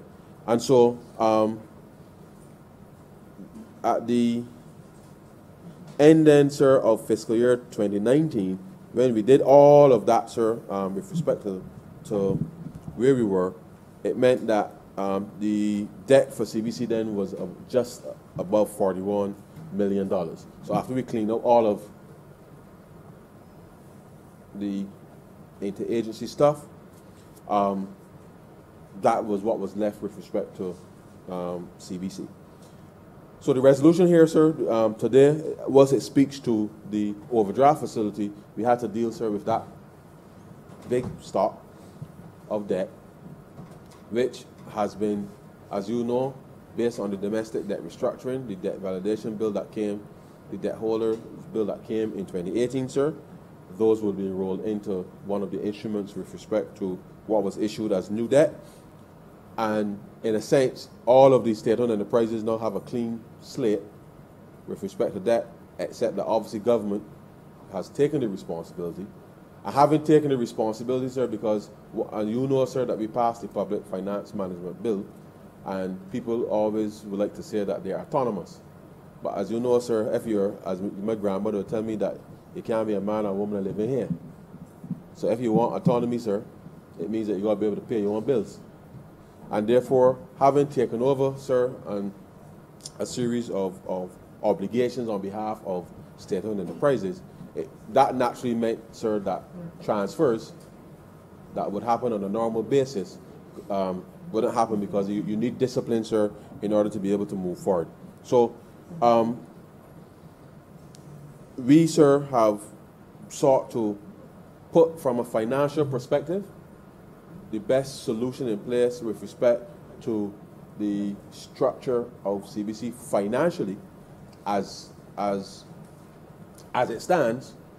But now the next phase, sir, is for, for the other reforms now to take place to ensure that the operations now of CBC can move forward with respect to being able to operate truly in the 21st century with 21st century tools in order to be able to compete with all of the other entities out there who are investing in the 21st century. And therefore, I believe, sir, that over the course of the next few months, um, certainly the public, um, once everything goes well, with respect to the, the, the results of the, the RFP that has been put out, that through that process, Barbadians will be able to see and hear um, what will be the outcome of those deliberations with respect to being able to bring CBC into the 21st century. Now, sir, I must say to you that, and I, I, I couldn't, I can't take my seat without indicating that in res- and even though I, I, said it before, the CBC um, has been, and through its MCTV um, division, which has been the, the, the, cash flow for CBC for some time, um, those revenues clearly have been declining because, as I indicated, sir, the competition out there is actually quite very, very, very strong. And certainly with the advent of on um, of video on demand, sir, you have YouTube, you have a whole host of services out there that Barbadians can stay in their homes at any time, sir, and watch what they want when they want for however. You can pause it, sir, and go to the toilet and come back. You can't do that with, with well, you can't do that with live TV, except that CBC doesn't have that digital platform to allow me to pause a program and go and do what you got to do and come back and do it. And therefore, that's the kind of pressure that the corporation is under and they need to respond. Now, that's not the only reason, but certainly, sir, the subscriptions with respect to um, MCTV have been declining um, over the years, and certainly we've seen a significant decline, certainly over the last five years, in terms of the subscriptions to, to MCTV. As a result, as you can imagine, sir, if the subscriptions drop, it means the revenue drops, and when the revenue drops, sir, it means that those operational deficits that I was I, I was referring to earlier means then that they're under pressure, and therefore um, it is important that the certainly the, the I think with bringing a new way of doing things in terms of being more efficient and being a little more entrepreneurial, sir, because we can't sit back as a state-owned enterprise and just assume that the taxpayers will will cover you without having the, the business plan in place to be able to compete in the 21st century because you, you essentially, sir, are not even on the track. You're not even prepared to, to get on your mark to be able to compete with others. And the truth is that the CBC has to, to go through a process now, sir, where that is done such that better service can be provided. And I believe, sir, that under a new framework, that that can be done. And it will take some time, it will take some investment, and therefore um, I really do look forward to seeing um, to seeing a new look um, Caribbean Broadcasting Corporation that can actually um, do some wonderful things for exposing a lot of talent um, in Barbados. Um, I I won't go much further into into the details with respect to to CBC, but I know that, um, sir, we have uh, an obligation, certainly in a small society, to ensure that persons have access to credible information. And whilst I know that tangentially, sir, the government has access to, um, I think it's 10% of all airtime um, out there. The under, uh, was that is was that is so, we are still pretty much at the mercy of of of persons of determining when they pay, when they will play or give access to that 10%. Um, now, we do have a, uh, uh, and let's say we know this is government, and I know that the, the Government Information Service provides uh, a very good service with respect to what it offers to the public, its, its engagements with the, the various media houses and what have you. And therefore, in that in that vein, sir, we they have been using them um, with a lot more um, regularity, more of the the social media component. But as you know, sir, social media is not the only platform that is out there, and we do have to still ensure that we engage a full court press to ensure that we can reach the segments of the community where they are, because not everybody has a smartphone, nobody has, not everybody has Instagram, not everybody has a Facebook account, which, contrary to what people may believe, not everybody has access to all of these things. And therefore, there is still a responsibility for government to ensure that persons can have access to information. So, in whatever form or, or, or that, that comes in, I, I, I, I am taking it safe to say that I can assure the public that that will still, some element of that will still be in place going forward in order to ensure that persons can have access to information. It is how you may access it, may be the issue in terms of whatever media, media that is used, but whatever is used, sir, it has to be capable of reaching the widest cross section of persons um, in the country. And so, sir, um, that is the, in essence, sir, the resolution before the chamber, which is to restructure the the overdraft facility um, for the Caribbean Corporation, Caribbean Broadcasting Corporation with um, Scotiabank, which is, is part of the domestic, an extension, I should say, of the domestic um, debt restructuring. And I do believe, sir, that this, the restructuring of this would allow for a little ease with respect to CBC in the context of the total monies that were already um, um, rolled into the domestic debt exchange, and therefore um, this should provide a little more certainty with respect to the financial operations of the entity.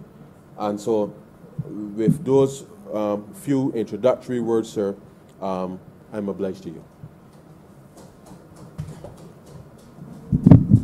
Remember Mr. Michael West.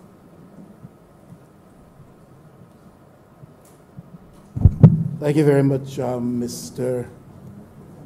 Speaker. I must begin by saying that I will not support Uh, yeah, you, you, you move it.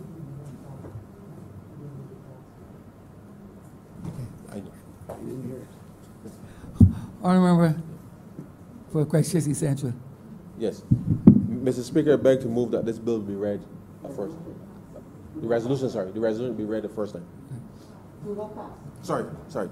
I beg to move that this resolution do not pass. Sorry.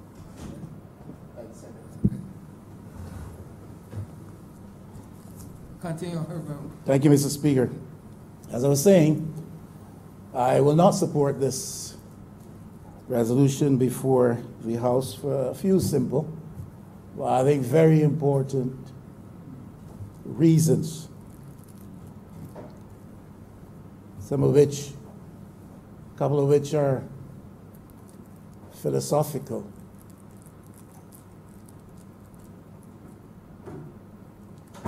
But inherently important to how democracy plays out in Barbados. But I will begin on something perhaps which is not so profound. I'm looking at a copy of the Auditor General's report, which suggests to me that auditors were unable to confirm or verify by any alternative references or means. Oh, Honorable member, can, can you make reference to the, Page, yes, go on.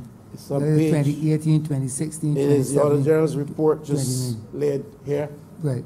So could you, The General's report just laid here, and it is at five, five four on page ninety-one. That's chapter five, on page ninety-one, section five point five four. Has to do with the Caribbean Broadcasting Corporation. Statement clearly made the corporation was issued a disclaimer of opinion as the auditors were unable to confirm or verify by alternative means accounts receivable of $2.8 million at the 31st of March 2019. The resolution is asking of the House that we approve government's borrowing of $2.4 million in the interest of CBC. Statement of these, the statement from the Auditor General's office says, there's a disclaimer of audit opinion with respect to CBC's accounts about on March 31st in the year under, that year under review, which reflects no proper accounting for receivables stated to be $2.8 million. That is more than the resolution is asking of us for government to have leave to acquire through Scotiabank. To help, as the Alderman member for Christ Church East Central put it, restructure the debt at, restructure the finances up at CBC, the overdraft facility, he put it, up at CBC. I cannot, especially in light of much of that which the Auditor General has said in this report, which we will have plenty of time to look into, support this. Much ado has been made about a $1.45 billion inquiry by the Auditor General's respect to the BWA. And that has to be looked into. It signals very poor practices, and I will make my language no stronger than that at this time on behalf of the Barbados Water Authority. But I know we can compare or contrast the amounts and say that we talk about chalk and cheese. The principle is the same. If we have a state operated entity that is not properly accounting for its operations, then we have to take pause. And when we're faced with a circumstance that Parliament is being asked by the Minister of State in the Ministry of Finance via this resolution to support this access to funding on loan through Scotiabank to restructure the over, over, overdraft mechanisms at CBC, then I have to stop and say I will not, I cannot support it unless we can get some clarification. I can go on and I will not take much time on that because it goes on next couple of lines to make reference to another seven hundred thousand dollars for which there's again a disclaimer of opinion, and this has to do with accounting for inventory. And the auditors were unable to verify with respect to the inventory count to the value of seven hundred thousand dollars. So we're not gonna move forward operating blind not knowing the source of these concerns or the cause for these concerns, and vote in approval of this resolution. Now, I have to ask because the honorable member for Christ Church Central did not say. He did say that the state operated entities are operating with a, a clean bill of health, and that, that must be the case. But I don't know that he told us what is the level of indebtedness to overseas program suppliers currently by the CBC. I raised that because I saw it raised in the public arena by interest overseas that Barbados was defaulting on its obligation to pay the necessary liabilities and royalties with respect to programming that it was be, that it was using from overseas sources. But I've heard nothing made said with reference to the current level of indebtedness on, behalf, on, be, on the part of the corporation with respect to its overseas creditors who supply programs and other content for its use.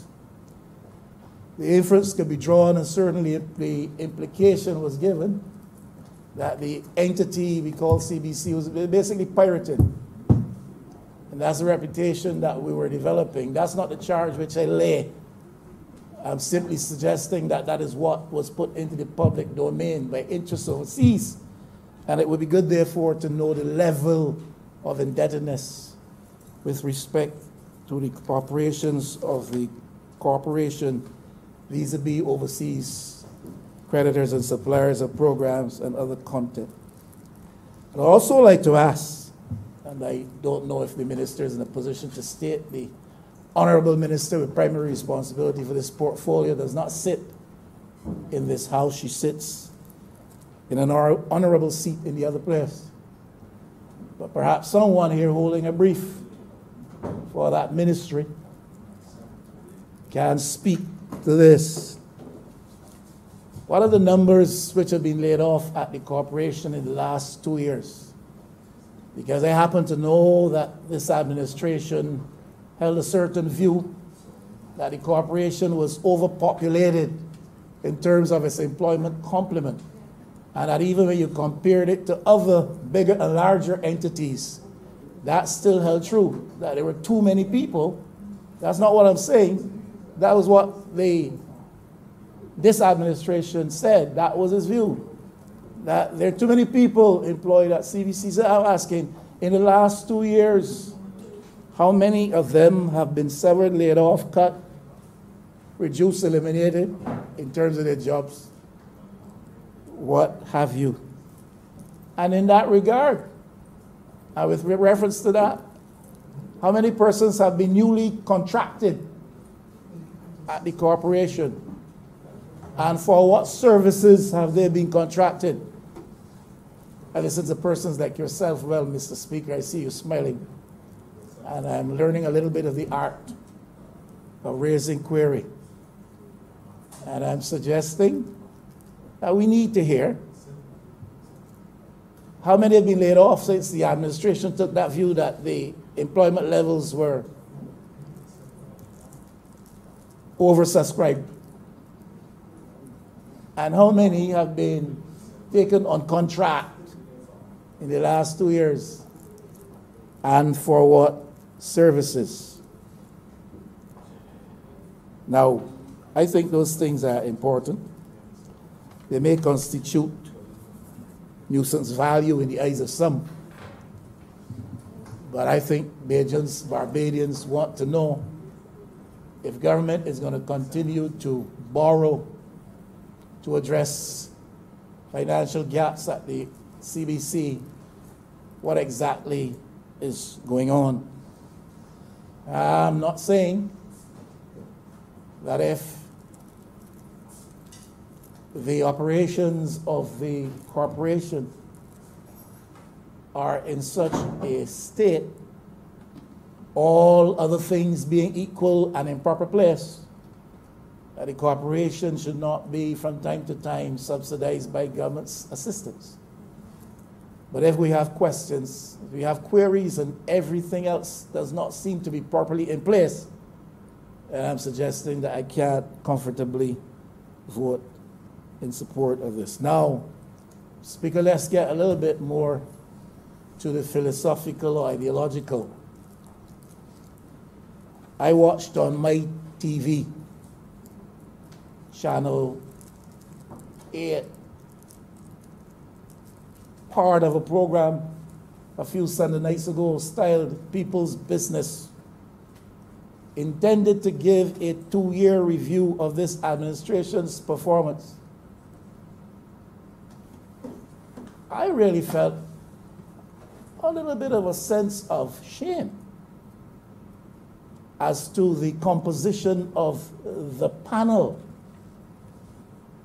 and the focus of the program. I mean, if you are going to review the two year performance of an, a party in the office of government, you can't bring to the panel exclusively. You can't bring to the panel exclusively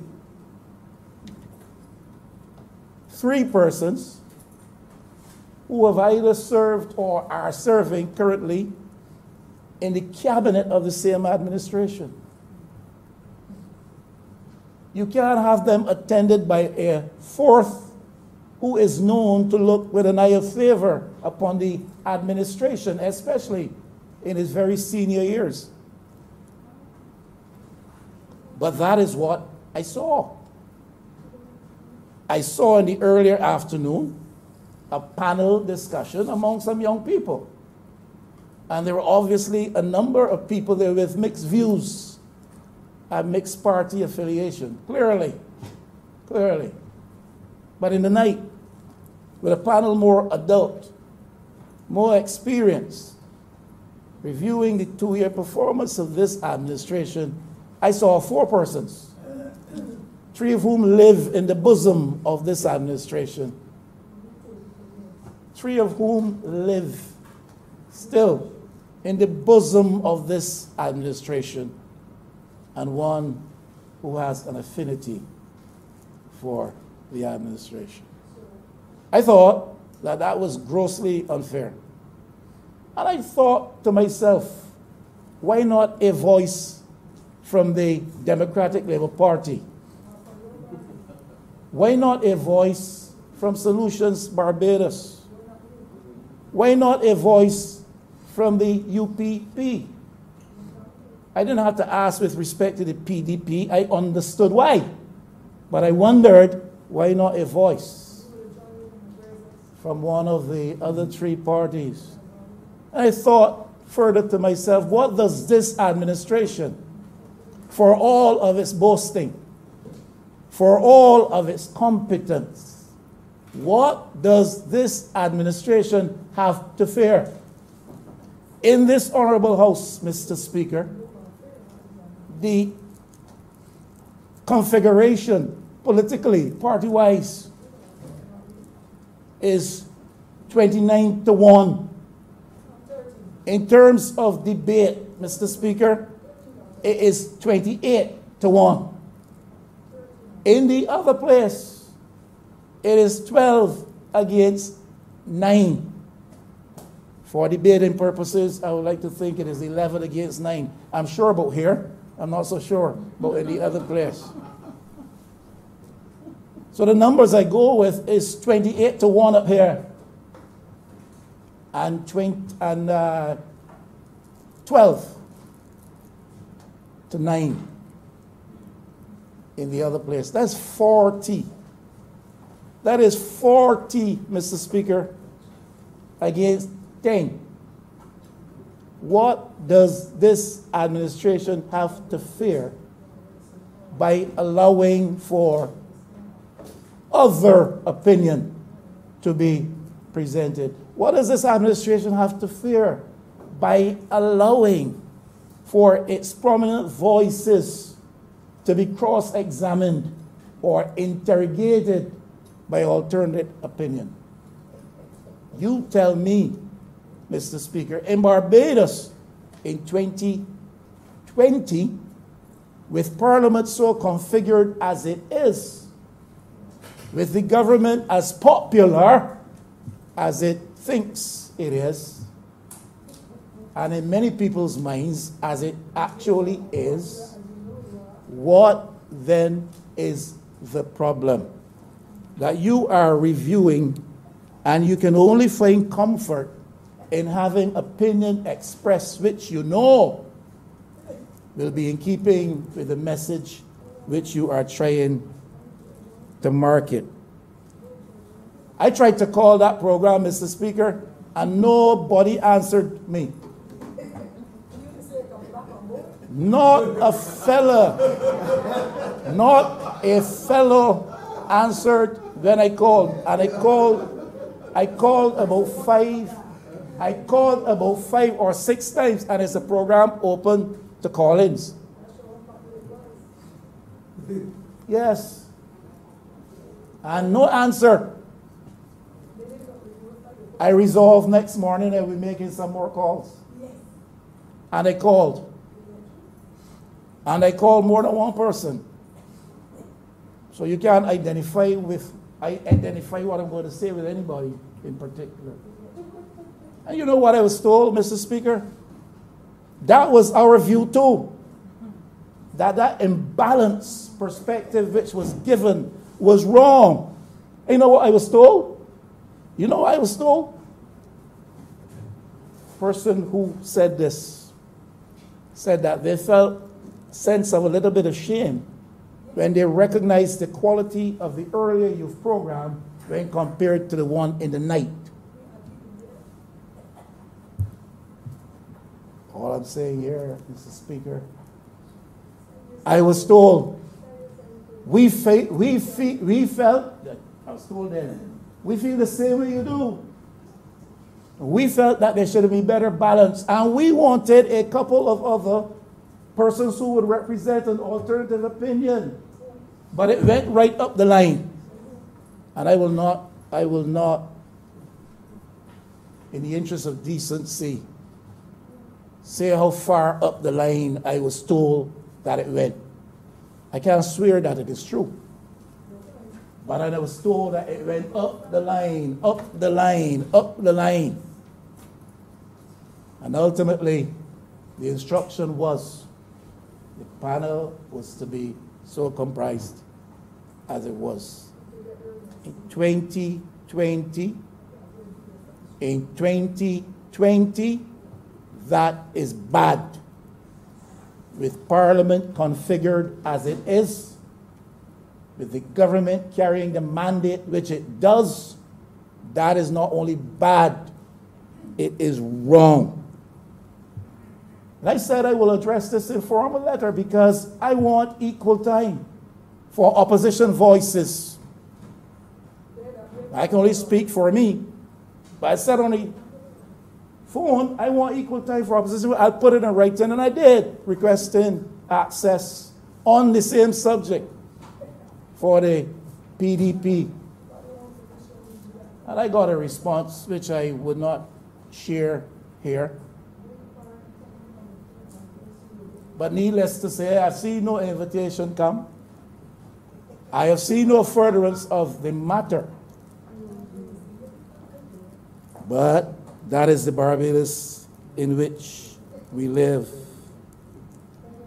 And I say this, and those who sit here in their right minds better consider it, because the CBC, as a broadcast entity, is being overused by the administration currently to its advantage and to the disadvantage of other opinion in Barbados.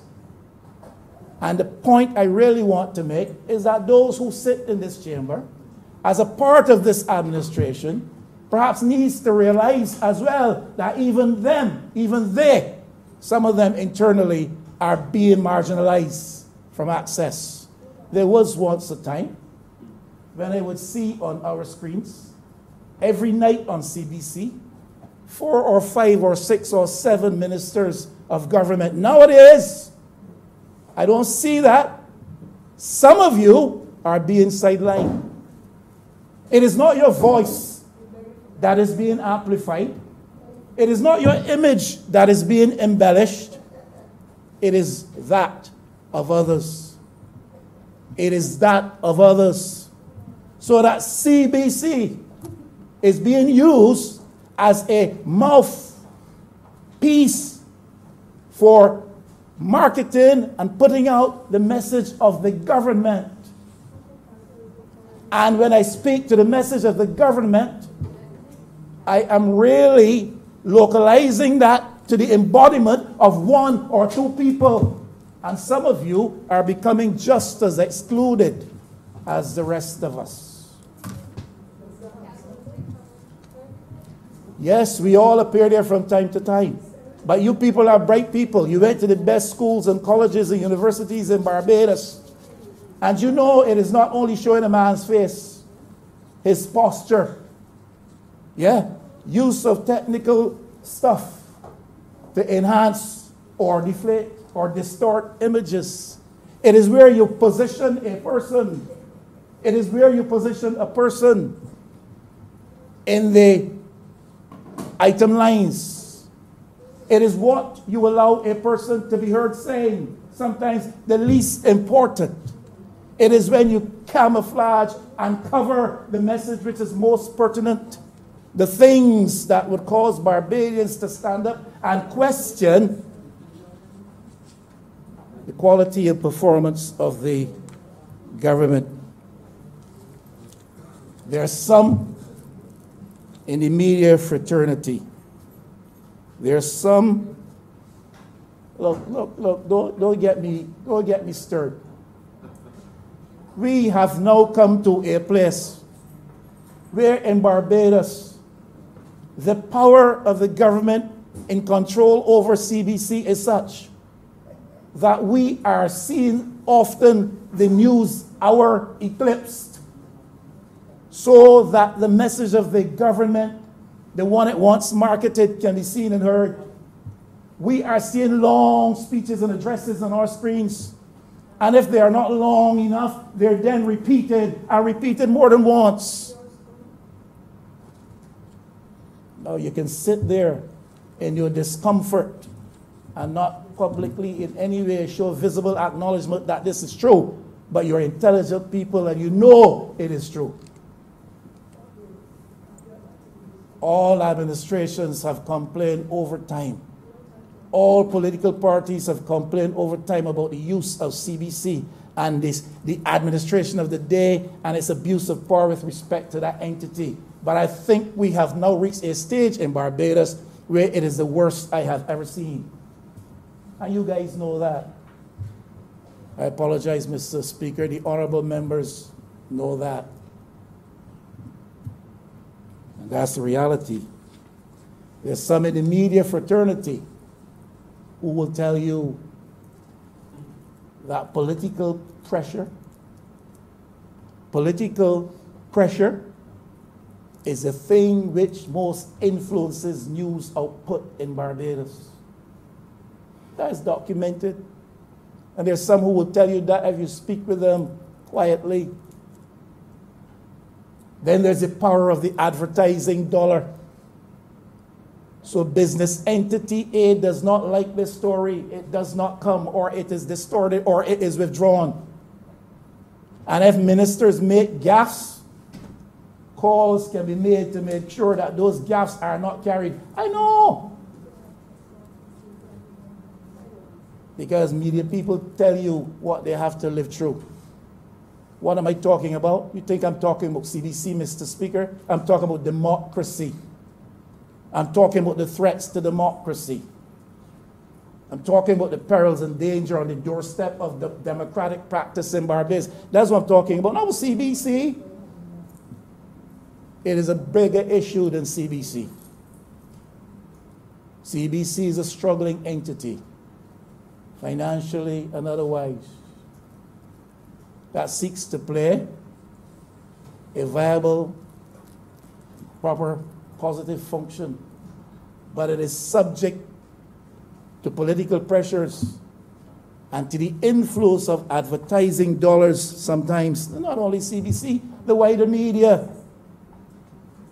And I'm so, Mr. Speaker, therefore, talking about democracy in Barbados and the manipulation of the media to serve narrow political ends or the narrow ends of select business interests in Barbados. That is the reality that we live.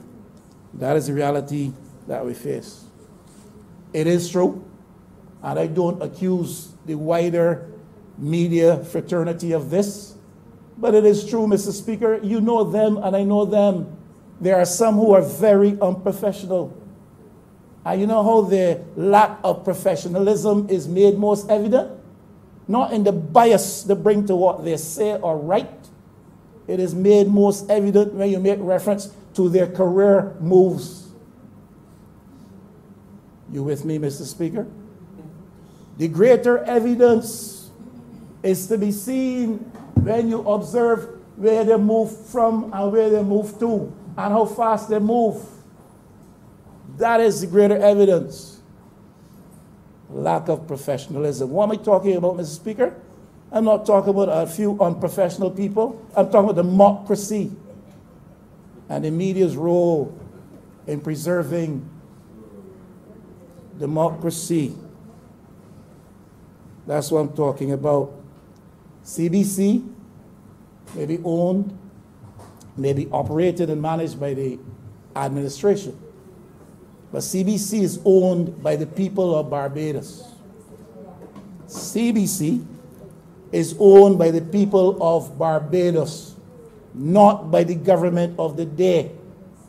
And the manipulative fingers and the power of political pressure and influence, wherever and however it is embodied, must be checked in the interests of our democracy. That's where we are in 2020. The role of the media is to help us guard against the dangers of unchecked power. Help us to guard against the dangers of a power imbalance in the state. And right now, there's a power imbalance. And that power imbalance is not only reflected in the numbers configuration, that power imbalance becomes even more bothersome, more worrisome when those who sit in majority numbers are weak men or weak women and will not stand up to power.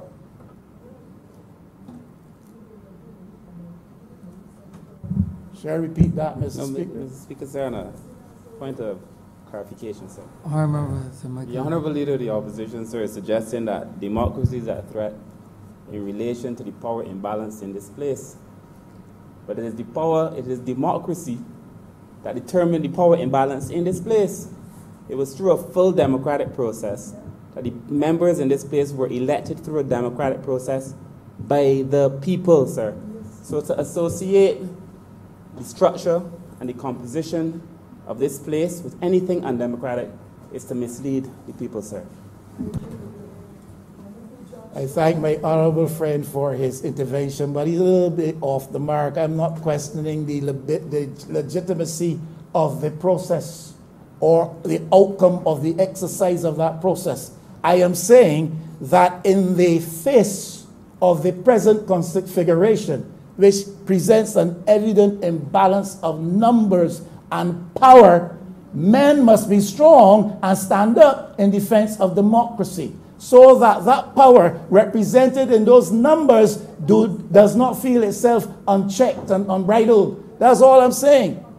And men should be ready to their feet to say, no, that's not good. We should not have a two year review with all of our people in there.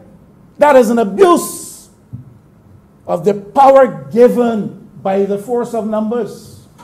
That is what I'm saying. Don't, sir, keep quiet. Don't get me stirred. I'm trying to be cool and to bring this to an end.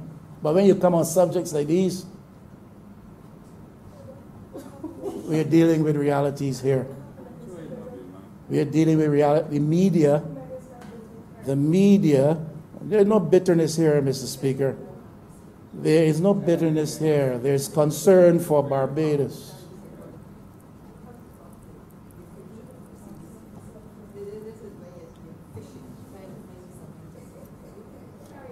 No, I hear I'm fishing.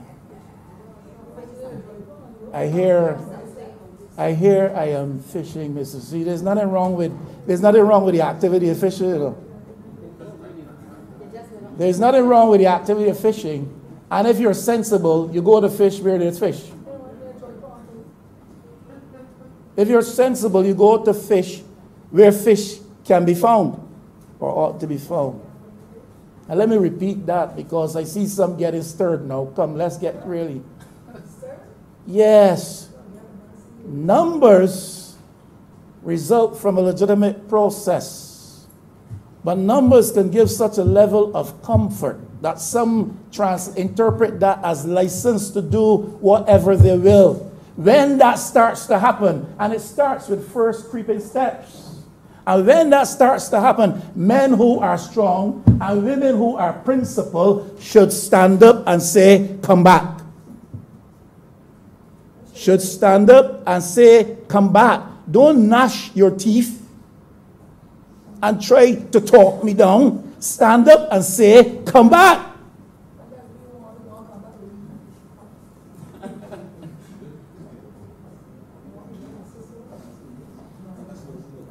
Media has a role in this very dangerous period. The media has a role in this very dangerous period.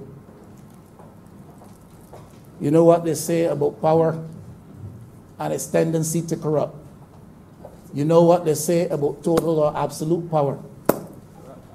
Yes. And we don't want to go there. Nobody is saying that we are there, Mr. Speaker. I'm simply saying that we have to be careful, to be aware of the dangers to democracy, and to say come back when we see those dangers beginning to show themselves.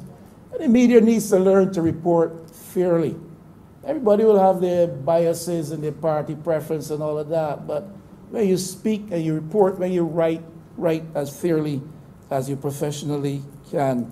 Media has a role to investigate and to follow through on matters, and so much is allowed to go a begging in Barbados to help safeguard our freedoms, to highlight the dangers and the threats to that democratic process that gave a 30 nil defeat to the last administration.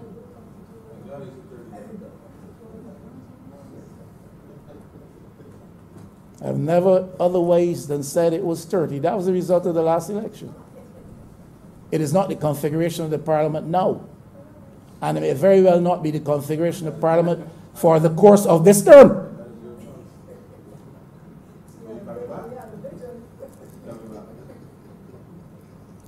Mr. Speaker, why you don't warn these honorable men? No, no, look. Coming back, coming back, coming back, look. You see this honorable gentleman, this honorable gentleman from Christ Church, East Central, and all this comeback talk. I, I will not go there. I am not going to trouble. I am not going to trouble him. I have quietly advised a couple of his colleagues speak quietly to your ministerial colleague and ask him to stop, desist from trespassing on that line because it's improper and it's inappropriate. And I was going to speak about it. No, I ain't going there because that's not my style of politics.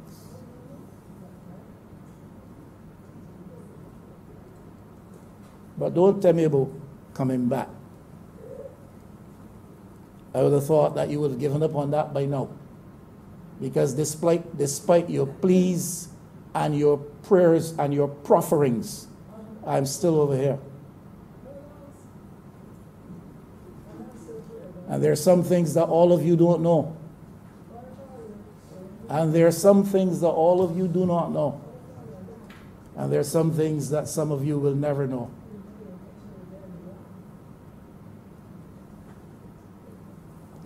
We've gone awfully quiet in the chamber, Mr. Speaker. Nobody making any noise right now.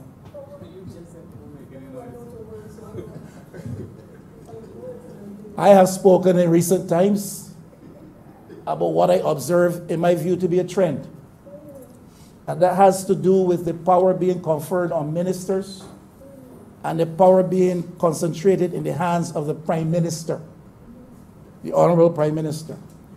The last occasion I spoke to that in this house was at the time of the Emergency Powers Act, when the cabinet, when the cabinet amended a bill it had brought here to put absolute power in the hands of the prime minister, devolving the responsibility from themselves to one pair of hands.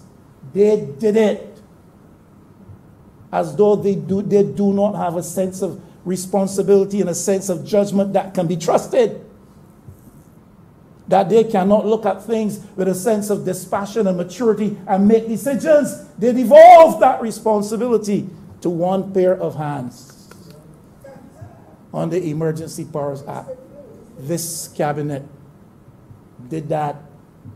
And I'm saying, if you look back at legislation that we have brought here over the last year, within the last two years, you will see this trend emerging where power, either with respect to statutory corporations and how the administrative structures are changed and adjusted, how they're restructured, power goes to the minister to appoint to approve, to dismiss. Sole power. Uh, that's what the, the wording says, you know. Sole power.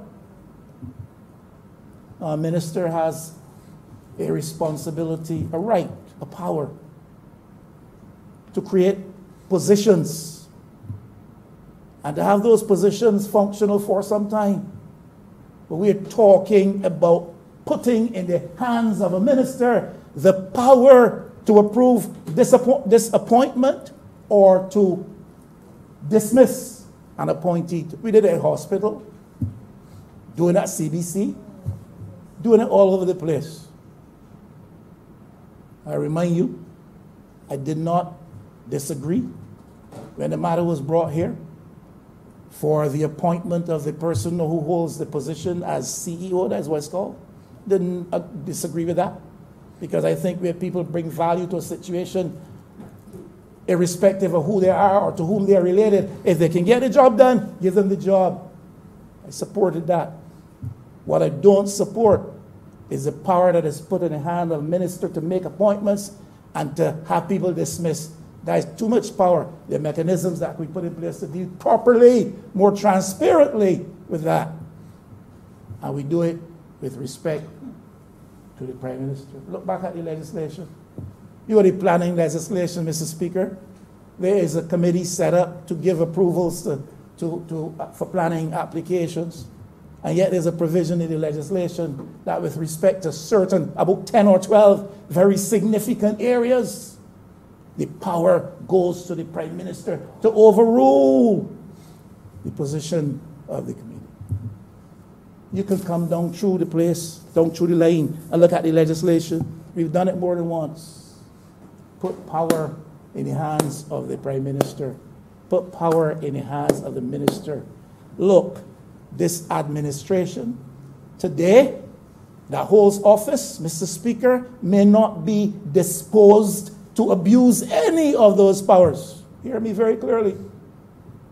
But you do not know the administration that comes tomorrow.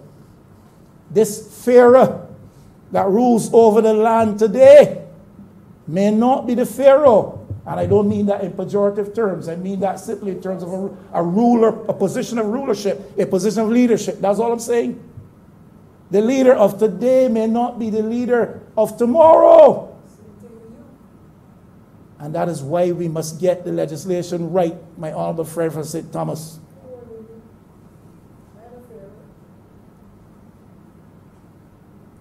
But strong men, when the chips are down, must stand up and declare that is the wrong path to take.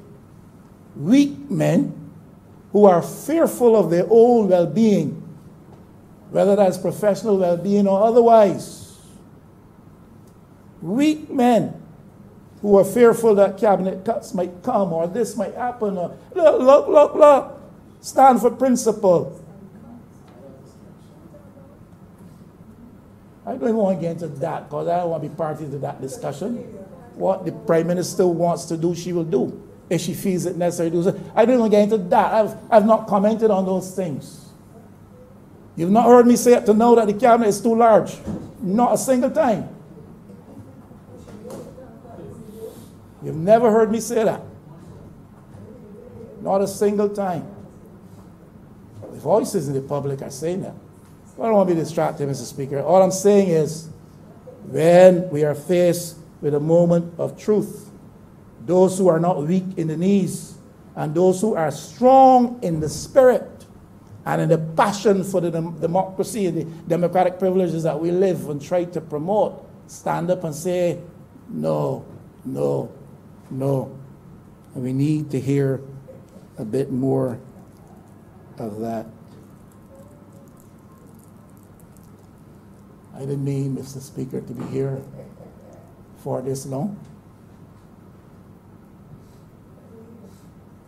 But those things must be chewed upon.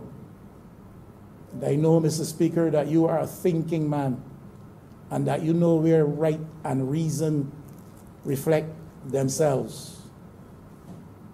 And I simply offer to this chamber today CBC is not properly accounting for $2.8 million. I can't vote for a loan for them for $2.4 million. CBC is being abused, in my view, in terms of what is allowed to do or in terms of what is forced to do by the administration. And there are certain perils to our practice of democracy that I'm not going to subscribe to. And I encourage those who feel any measure of strength in their knees, any measure of fiber in their backbones. Just, I'm not asking you to stand and say anything or even to vote against this. I'm simply saying if there's any measure of strength in your knees or any measure of fiber in your backbone, stand up sometimes and say, no, no, no, no, we're doing this the wrong way. That's all. Don't all applaud at the same time, please. Kirk, Honorable Leader Government Business. Kirk. Mr. Speaker, um, I rise in support of the resolution. I rise in support of the resolution. Support given, sir, on the basis that the Caribbean Broadcasting Corporation, if you take all that has been said by the honorable member who just spoke, um, seems as though it is an organization which the Barbados Labour Party has been seeking to censor all other right-thinking members of this society. But on the other hand, sir, I, I understand that being in opposition often means that you have to oppose. But I do believe that you also have a responsibility to be honest and truthful. And in the same token, when you start to criticize policies or programs or you're in disagreement with what the current administration has put forward, you also have a responsibility to offer solutions, to offer recommendations, to put forward proposals from your own party to the country about how you see the transformation that may be necessary for the state-owned entity or for any other entity in this country, sir. What I heard, however, Mr. Speaker, on this particular resolution was what I consider to be what we would hear when we were in opposition, which is when you come in and you may not be too prepared for a speech, you decide to hold on to something, anything that you possibly can, and make a speech out of it, sir. And it is with deep regret that the honorable member, while asking some valid questions regarding the finances of the organization, would also take this country and those listening on a journey that would convey the impression that the Barbados Labour Party, through the Caribbean Broadcasting Corporation, has in any way attempted to censor either himself or any other persons who are not associated with the Barbados Labour Party. The questions he has asked about why aren't more ministers perhaps on television? Why is it that when we mount a, a, um, a, conversation about the first two years in office, why was it not more fully represented by other persons? Sir, the Caribbean Broadcasting Corporation has had other persons speaking about the Barbados Labour Party's record. It has not censored anyone from being interviewed. It has not stopped anyone from being able to call in on programs. It has not stopped anyone from being able to mount their own program or pay for, serve for advertising time on CBC to be able to express their views or the views of their political organization. It hasn't done so. But to convey the impression that as a party that has made significant sacrifices, of which the honorable member was once a part of, and who knows that on coming to office, the magnitude of the task that all of our members have had to face in dealing with respective ministries, I think it is unjust. I think it is unreasonable as I sit here and I listen to the honorable member for him to behave as though his former colleagues who are still respectful of him as an honorable member and leader of the opposition, that we would in any way, through the Caribbean Broadcasting Corporation, seek to censor him. He repeated over and over about how the media has a responsibility to do this and the media has a responsibility to do that. But what he didn't say at any juncture is how he, or what attempts he has made to participate in the programming on the Caribbean Broadcasting Corporation. I think what is happening is that he has now realized how difficult it is to financially fund an opposition party and to be able to put get airtime on CBC or any other forum. And I think that is what I hear his frustrations coming out, and I, I sympathize with him. Because it is not easy for any of us as members of this party either to deal with what is out there. Mr. Speaker, the honorable member is misleading us. That has nothing to do with anything that I said, but if she wants me to engage her now on this matter of funding politi- political parties, we could go at that. Because there, there is a moral wrong that is going down in Barbados right now with respect to that. You want us to go down there? But, but, I remember that's not in You want us to go down there? That's not part of the resolution, I remember this. Pre- Precisely so. That's not part of the resolution at all. Precisely so. So don't come and mislead the house with that because we can go down that road and we can talk about the immoral act of the Barbados Day Party taking all of the subvention, which could never been intended by the framers of that thing. We can go down there. I remember that's not part of the resolution, and I, I will not permit that. Thank you, Mr. Speaker. And, and again, I think the frustration is coming out because it cannot be easy for the honorable member to have to face and to walk this road almost alone in defense of what he is doing. It can't be easy, and we appreciate that. But I assure you that the Caribbean Broadcasting Corporation has in no way attempted to censor the honorable member, sir. It has no intention of so doing. What, however, is of concern is the fact that we have made attempts on coming to office to start the restructuring pro process of the Caribbean Broadcasting Corporation.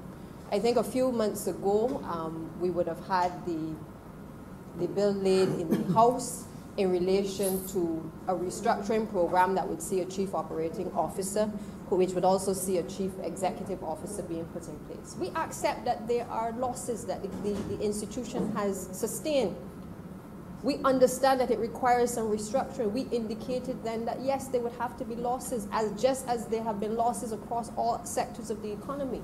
But to paint a picture in this environment that in some way that there is some